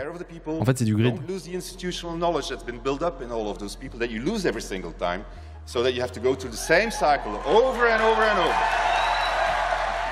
Le même cycle, C'est vraiment ça. encore et encore et encore. Mais à force de malmener l'industrie et surtout ceux qui la font, quels en sont les dommages irréversibles? Les termes. hein. Euh, une chose que le jeu vidéo a perdu pour de bon, en fait, c'est tous les seniors euh, qui se sont fait euh, licencier. Il faut pas penser que les talents, ils sont euh, toute leur vie dans un studio ou dans un publisher de jeux vidéo. Il peut y avoir des allers-retours. On est très lié à l'offre, on est lié à des cycles, c'est vrai. Là, euh, conjoncturellement, on perd peut-être quelques talents pour quelques mois, quelques années, mais qui ne manqueront pas de revenir à chaque fois que voilà. Ils vont pas retourner dans l'industrie. Pour la majorité, ils vont devoir quitter l'in- l'industrie, se reconvertir, euh, aller élever des chefs dans la montagne ou que sais-je en fait. L'offre Un peu est limitée, la demande est massive. Donc tu sais que si jamais tu dois rechercher un, un travail, euh, tu vas être en compétition avec des gens qui sont aussi talentueux que toi, voire plus. Tu commences à être un peu âgé, tu commences à avoir 40 piges, tu as des enfants, euh, tu as des responsabilités, tu vas pas, tu vas pas recommencer. Quoi. Moi, imaginons, je suis dev, j'éc- j'écris 40 000 lignes de code pour, le pro- pour un prochain jeu, je pars, j'ai jamais documenté mon code, il y a que moi qui le comprends en fait. Et ça veut dire que tout ce savoir-là, euh, on est essentiellement en train de saper toute une génération euh, de personnes qui détenaient le savoir, qui avaient une visibilité sur les productions, qui étaient capables de former les jeunes, et on est en train de tout recommencer depuis zéro. Et tu vois, c'est pour ça que par exemple, dans une licence, parfois, on passe d'un jeu à un jeu suivant et on se dit, mais pourquoi cette fonctionnalité qui était présente dans le jeu précédent, elle est plus dans la nouvelle version, Oui. la nouvelle bouture du jeu? Eh ben, l'une des explications, c'est que, ben, en fait, à un moment, on a perdu cette compétence, on ne Ça, savait ouf. plus faire. Et ben voilà, on- Ça, c'est ça c'est ouf, ça, c'est ouf. Quand tu joues à un jeu, tu fais putain, mais euh, dans le précédent, tu sais, on pouvait. euh, Ah, tu peux pas? Ok. on a perdu le code, en fait. On s'est... Ça prenait trop, trop, trop, trop, trop de temps, quoi. Ouais.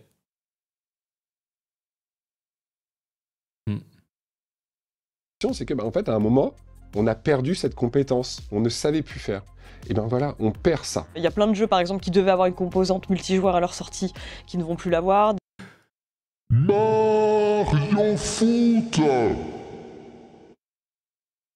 Des jeux qui devaient être particulièrement longs, qui ne vont plus l'être. Attendez-vous à ce que tous les jeux, toutes les licences, tous les studios qu'on connaisse et qui ont une identité, et ben en fait, ce- cette identité, elle passe au lavage, quoi, qu'elle soit complètement déteinte. C'est ça, putain, c'est ça, tu vois, ce fameux truc de quand tu aimes une licence euh, ou des personnages et tout, en fait, la réalité, c'est que quand dix ans plus tard, cette même licence ressort un jeu, en fait, il n'y a pas une personne en commun avec l'équipe qui t'a fait kiffer à la base la licence. Ça, c'est tellement frustrant de se dire ça avec le temps. Genre, qui a dit Blizzard? Mais Blizzard, Blizzard en est l'exemple ultime. Dans les années 2000, Blizzard, c'était vraiment, c'était les boss ultimes. Tu pensais Blizzard, t'étais en mode, ok, c'est sûr, le jeu, c'est un banger. Le jeu, c'est un banger. Le jeu, c'est un banger. Et en fait, tu vois, ça reste un peu dans la tête. Ça reste un peu dans la tête. Et en fait, aujourd'hui, Blizzard n'a aucun rapport avec le Blizzard d'il y a 20 ans. Mais genre, aucun rapport. Et pourtant, et pourtant, même, moi qui joue beaucoup, qui me renseigne tout machin, mais moi j'ai ce truc avec Blizzard, tu vois, où ils sortent un truc, je suis en mode Ah, ah merde, ah. Et pourtant, Overwatch, très quali, très quali, Overwatch. Très bon jeu, Overwatch. Hein. Ouais. Ah, Blizzard, il souffle le chaud et le froid. Attendez-vous à ce que tous les jeux, toutes les licences, tous les studios qu'on connaisse et qui ont une identité, et ben en fait, ce- cette identité, elle passe au lavage, quoi, qu'elle soit complètement déteinte. Ouais, c'est ça. Et ça, ça fait vraiment peur. Hein. Enfin, peur. Bon, récapitulons. Sauvegardons la partie. Wake the fuck up, samurai. On a une industrie culturelle et tech qui vaut plusieurs milliards de dollars. Des investisseurs, parfois déconnectés, qui n'ont pas compris qu'un jeu vidéo, ça prend du temps à se faire. Des joueurs et joueuses, certes nombreux, mais qui se concentrent sur quelques titres, tandis que les grands éditeurs tentent de ressusciter ces mêmes coups d'éclat, mais Oh, sans les créateurs qui en sont à l'origine. Montrant Sonic, c'est sont dur. peut-être partis, dégoûtés d'une industrie du jeu vidéo qui ne fait rien pour les garder. On a une industrie culturelle dans laquelle il reste encore des gens passionnés, mais qu'on cherche à remplacer. Des créateurs passionnants qui savent encore nous émouvoir, mais pour qui peu de gens s'émeuvent. Alors on a demandé à ses employés, ses petits patrons, ses plus gros patrons, ses experts et bien sûr ses ex-employés, c'est quoi la suite pour le jeu vidéo? J'adorerais euh, dire on est en train de voir la lumière au bout du tunnel, mais j'ai l'impression qu'on oublie ça déjà en 2023. Évidemment, on n'est pas sorti complètement de ce contexte économique particulièrement compliqué. Néanmoins, il y a quand même un volontarisme des studios. Euh, il y a des discussions avec les éditeurs qui se sont euh, bien amorcées de nouveau. Enfin, voilà, l'avenir semble euh, s'éclaircir un petit peu. Vous savez, au, au début des années 2000, je veux pas faire le, le dinosaure, mais l'industrie du jeu vidéo, notamment en France, elle était donnée pour morte. En fait, il faut se souvenir, elle était donnée pour morte. Le côté cyclique, je comprends qu'on puisse, euh, qu'on puisse penser que ça va être forcément la... Putain, je, je, je m'en rends pas compte du tout parce que moi, au début des années 2000, justement, c'était le moment où brrr, ça jouait à fond, tu vois. Ça jouait à fond de chez à fond. hein. Donc, mais après, c'est euh, du coup, c'est un biais. hein, c'est pas du tout. euh, je dis pas, c'est un truc de fou à quel point ça marchait bien. Mais euh, moi, j'ai des souvenirs de de explosion de la Game Boy, de la GBA, explosion de la Play 2, explosion. Enfin, tu vois, genre explosion ensuite des PC dans les années 2000 et puis, enfin, je sais pas. J'ai pas du tout l'impression que en France, il a dit ouais, ouais, ouais. Ouais, ouais.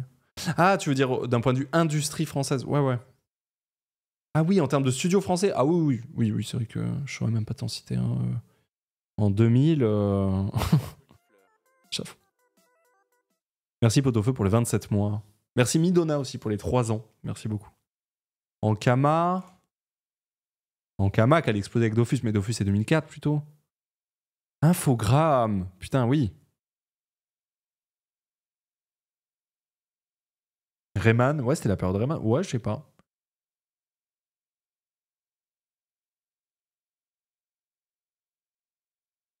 Ah, le côté cyclique, je comprends qu'on puisse, euh, qu'on puisse penser que ça va être forcément là c'est un creux et que du coup ça va repartir parce que ça a toujours été comme ça. Sauf qu'on n'a jamais eu un creux comme ça. Jamais. Et on n'a jamais été dans un contexte où Mais des creux dans quel sens euh, générer la moitié du contenu de ton projet en termes d'assets. Et c'est ce contexte inédit, à mon avis, qui va nous faire du mal. Moi, je, je pense qu'il n'y a pas de lumière au bout du tunnel. Les seniors qu'on Creux de l'embauche. Creux de l'embauche et. euh,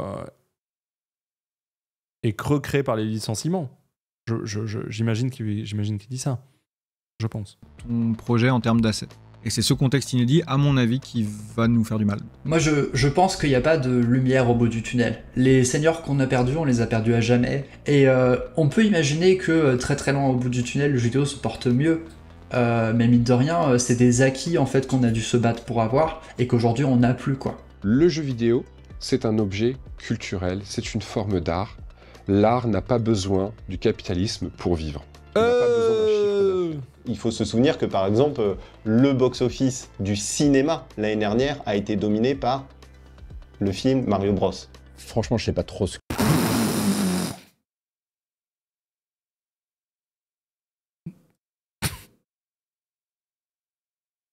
Ça, c'est pas un argument. Non, mais attends, mais. c'est- L'argument de fou furieux. Donc, autant vous dire que le jeu vidéo, on est là. Il est à côté de la plaque. Bah, après, eh, délégué, euh, un des délégués principaux du CEL, c'est difficile d'imaginer qu'il est à côté de la plaque. Hein. Mais. Euh... Ouais. L'année dernière a été dominé par le film Mario Bros. Oui, mais ça n'a. Je capte pas, moi. Je comprends pas, moi. Franchement, je sais pas trop ce que l'industrie va apprendre d'une crise dont la plupart des caractéristiques sont manufacturées en fait. C'est une vision très capitalistique, j'en ai, conscience que j'offre. Mais en fait, la réalité capitalistique relatif au capital. Tu peux dire capitaliste, non? Qui utilise une forte proportion de capital par rapport au travail. Qui utilise une forte proportion de capital par rapport au travail. C'est-à-dire? C'est-à-dire tu mets beaucoup de thunes, mais ah, ça bosse pas beaucoup. Hein. C'est dans ça. Non, pas. Ouais, c'est du grid, quoi. C'est du grid. C'est du grid, c'est du grid. C'est du grid. C'est le fameux grid. Vrai en fait. C'est une vision très capitalistique, j'en ai, j'en ai conscience que j'offre. Mais en fait, la réalité, à la fois, les deux feux qu'on regarde, c'est-à-dire, est-ce qu'il y a des jeux de fous qui sortent? Oui. Est-ce qu'en face, il y a des communautés qui maigrissent ou qui grandissent de fans en face? Non, ça augmente. Donc, les sous-jacents de toute industrie, tout le monde rêverait d'avoir ça. Mais ce que j'ai remarqué, c'est qu'il y a aussi eu un changement de réception euh, il faut se souvenir que par exemple, euh, Pourquoi c'est revenu? Mais attends, euh, enfin, oui, mais du coup, c'est ça, c'est exactement ça. C'est comme il dit, c'est très capitalistique en fait. En fait, c'est ça. C'est totalement. Il a utilisé le bon terme. hein. Il a utilisé vraiment le bon terme. Il le connaît, il connaît bien ce terme. Mais genre, on peut pas juste regarder les chiffres de vente pour savoir si quelque chose se passe bien. C'est pas possible. le box-office, Franchement, je sais pas trop statistique. la réalité, à la fois les deux feux qu'on regarde, c'est-à-dire est-ce qu'il y a des jeux de fous qui sortent Oui. Est-ce qu'en face, il y a des communautés qui maigrissent ou qui grandissent de fans en face? Non, ça augmente. Donc les sous-jacents de toute industrie, tout le monde rêverait d'avoir ça. Mais ce que j'ai remarqué, c'est qu'il y a aussi eu un changement de réception euh, de ce type de message chez les joueurs. Là où avant c'était, euh, pour résumer grossièrement, allez crever, euh, je voulais jouer à mon jeu.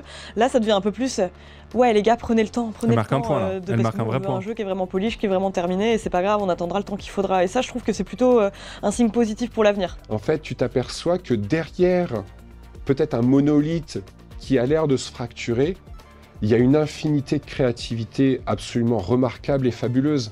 Il faut Je suis détaler. d'accord avec toi, mais il faudrait que tu te reroules un pet en vrai. Moi, je pense. Si je peux me permettre, il faudrait peut-être se rouler un petit deux feuilles. euh, en vrai, euh, tu mixes, tu mets un peu de cheat, un peu de, tu fais un truc et en vrai, mais, mais sinon c'est ultra réel. Hein. Il y a une infinité de créativité absolument remarquable et fabuleuse. Il Petit faut des talents, les garder, bien payer les gens. Il faut. euh, Il t'adore Esteban en plus, c'est vrai? Mais c'est le sang. Hein. Par contre, il Los Thermos. Hein. Esteban, c'est Los Thermos. Hein. Il a drop le mic tout à l'heure. hein. Pas sûr, bonjour ma part. Les fabuleuses. Il faut des talents, les garder, bien payer les gens. Il faut, euh, et il faut convaincre que toute la filière s'aligne pour faire grandir les boîtes. On a trop eu comme objectif la diversité des jeux et pas assez la taille des boîtes. Je pense qu'il faut faire grandir des géants. Je me dis, putain, les gens qui me demandent euh, qu'est-ce que je devrais faire pour commencer le jeu vidéo aujourd'hui, ma réponse, même, c'est ne commence pas, quoi, fais autre chose. Et ça me fait mal au cœur, en fait. Ça me fait mal au cœur de leur dire, euh, non, fais pas ça, quoi. On accompagne un public. Il a dit faire grandir les géants. hein. Ça, c'est ça, c'est dur. Et puis lui, il dit ne commencez pas. C'est non, c'est vraiment dur. Waouh, elle est dure cette fin de. C'est dur là. si le monsieur du sel peut dire à Yves Guillemot de bien payer les gens d'avance, merci pour moi. c'est. Ce serait cool. Et ça me fait mal au cœur, en fait. Ça me fait mal au cœur de leur dire, non, fais pas ça, quoi. Ça, c'est énervé. Mais tu sais que je le pense un peu aussi, alors que je. Mais juste, j'ai- côtoyé beaucoup de gens qui voulaient faire des études là-dedans, des, des gens, des devs, des ingés, etc., machin et, et trucs. Mais euh, en vrai, euh, je suis grave d'accord. J'ai l'impression qu'aujourd'hui, si un pote me dit, euh, vas-y, je vais me réorienter jeux vidéo et tout, je serais pas très positif quand, quant à son avenir, quoi. Genre, euh, je serais en mode, mais tu vas bosser dans des boîtes où tu vas te faire essorer au possible, tu peux te faire virer du jour au lendemain, tu bosses sur des projets qui te prennent le, temps, le cœur et l'esprit pendant des années, et puis en fait, d'un coup, c'est fini. Non, c'est. C'est dur, hein. C'est dur. C'est énervé, hein. Moi, je voulais faire du dev dans le jeu vidéo plus jeune. Bah, je suis bien content de pas être allé là-dedans. Bah, ça a l'air dur, quoi. Ça a l'air dur. Et en même temps, euh, tu vois, euh, j'ai pas envie que tous, les, tous les talents se, se, barrent, quoi. Tu vois, c'est ça le truc. Tous juniors à la fin de notre promo, euh, à la fin de l'année dans ma promo, on est au bout de notre vie, on réfléchit tous à un plan B. Ça, c'est, trop triste parce que par contre, on a besoin de gens qui ont envie, tu vois. Et de, nous, réga- de nous régaler sur des bons jeux, quoi.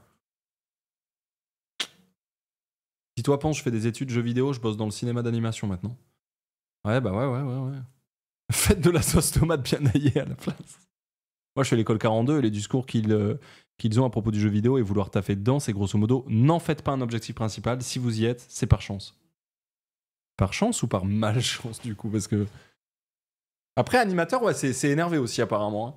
Enfin, Les gens qui me demandent euh, qu'est-ce que je devrais faire pour commencer le jeu vidéo aujourd'hui, ma réponse, c'est la même, c'est trop commence triste. pas, quoi, fais C'est autre trop chose. triste, ça, Et par ça contre. me fait mal au cœur, en fait. Ça me fait mal au cœur de leur dire, euh, non, fais pas ça, quoi. On accompagne un public à détourner un peu le regard et à se dire ah ouais mais en fait ouais en fait attends pousse-toi pousse-toi jeu de 50 heures là.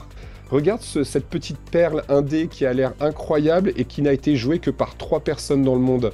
Ça a l'air fantastique. Et moi c'est ça que j'ai envie Ça s'appelle Alfred- is a bad guy.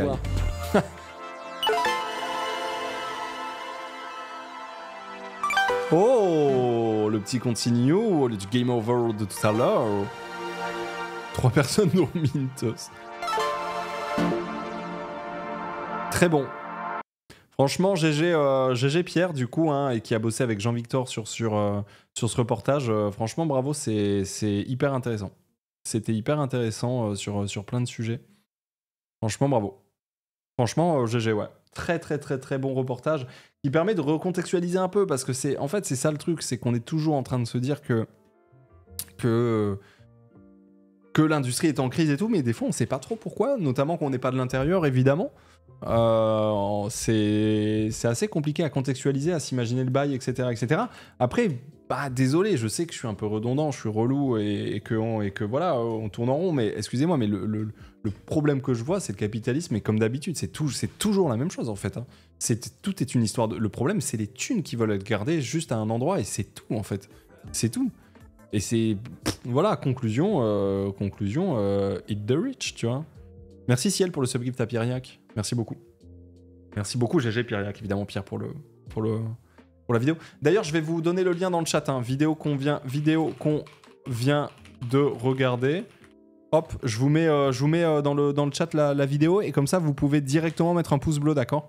Parce que bon, on l'a regardé tous ensemble, ça enlève du watch time, du truc, etc. N'hésitez pas à mettre un pouce bleu là-dessus, évidemment sur cette vidéo qu'on vient de, qu'on vient de checker ensemble. Je suis directement concerné par la vidéo, je partage la conclusion. Mais d'ailleurs, en parlant de ça, euh, moi je suis complètement ouvert à la discussion avec de- des personnes travaillant dans, ce milieu-là qui auraient vécu des, choses similaires ou qui seraient, euh, qui seraient toujours dans des boîtes. euh, ça peut être fait de, manière tout à fait anonyme. ça peut être, voilà, faites, ce que vous voulez, mais moi je serais assez, curieux de discuter avec, des gens qui sont dans ce, domaine et qui, et qui ont vécu des choses similaires ou pas d'ailleurs, mais chaud. Bah, PLP, tu es le ou la bienvenue euh, sur Vocal si tu veux parler de ça par exemple.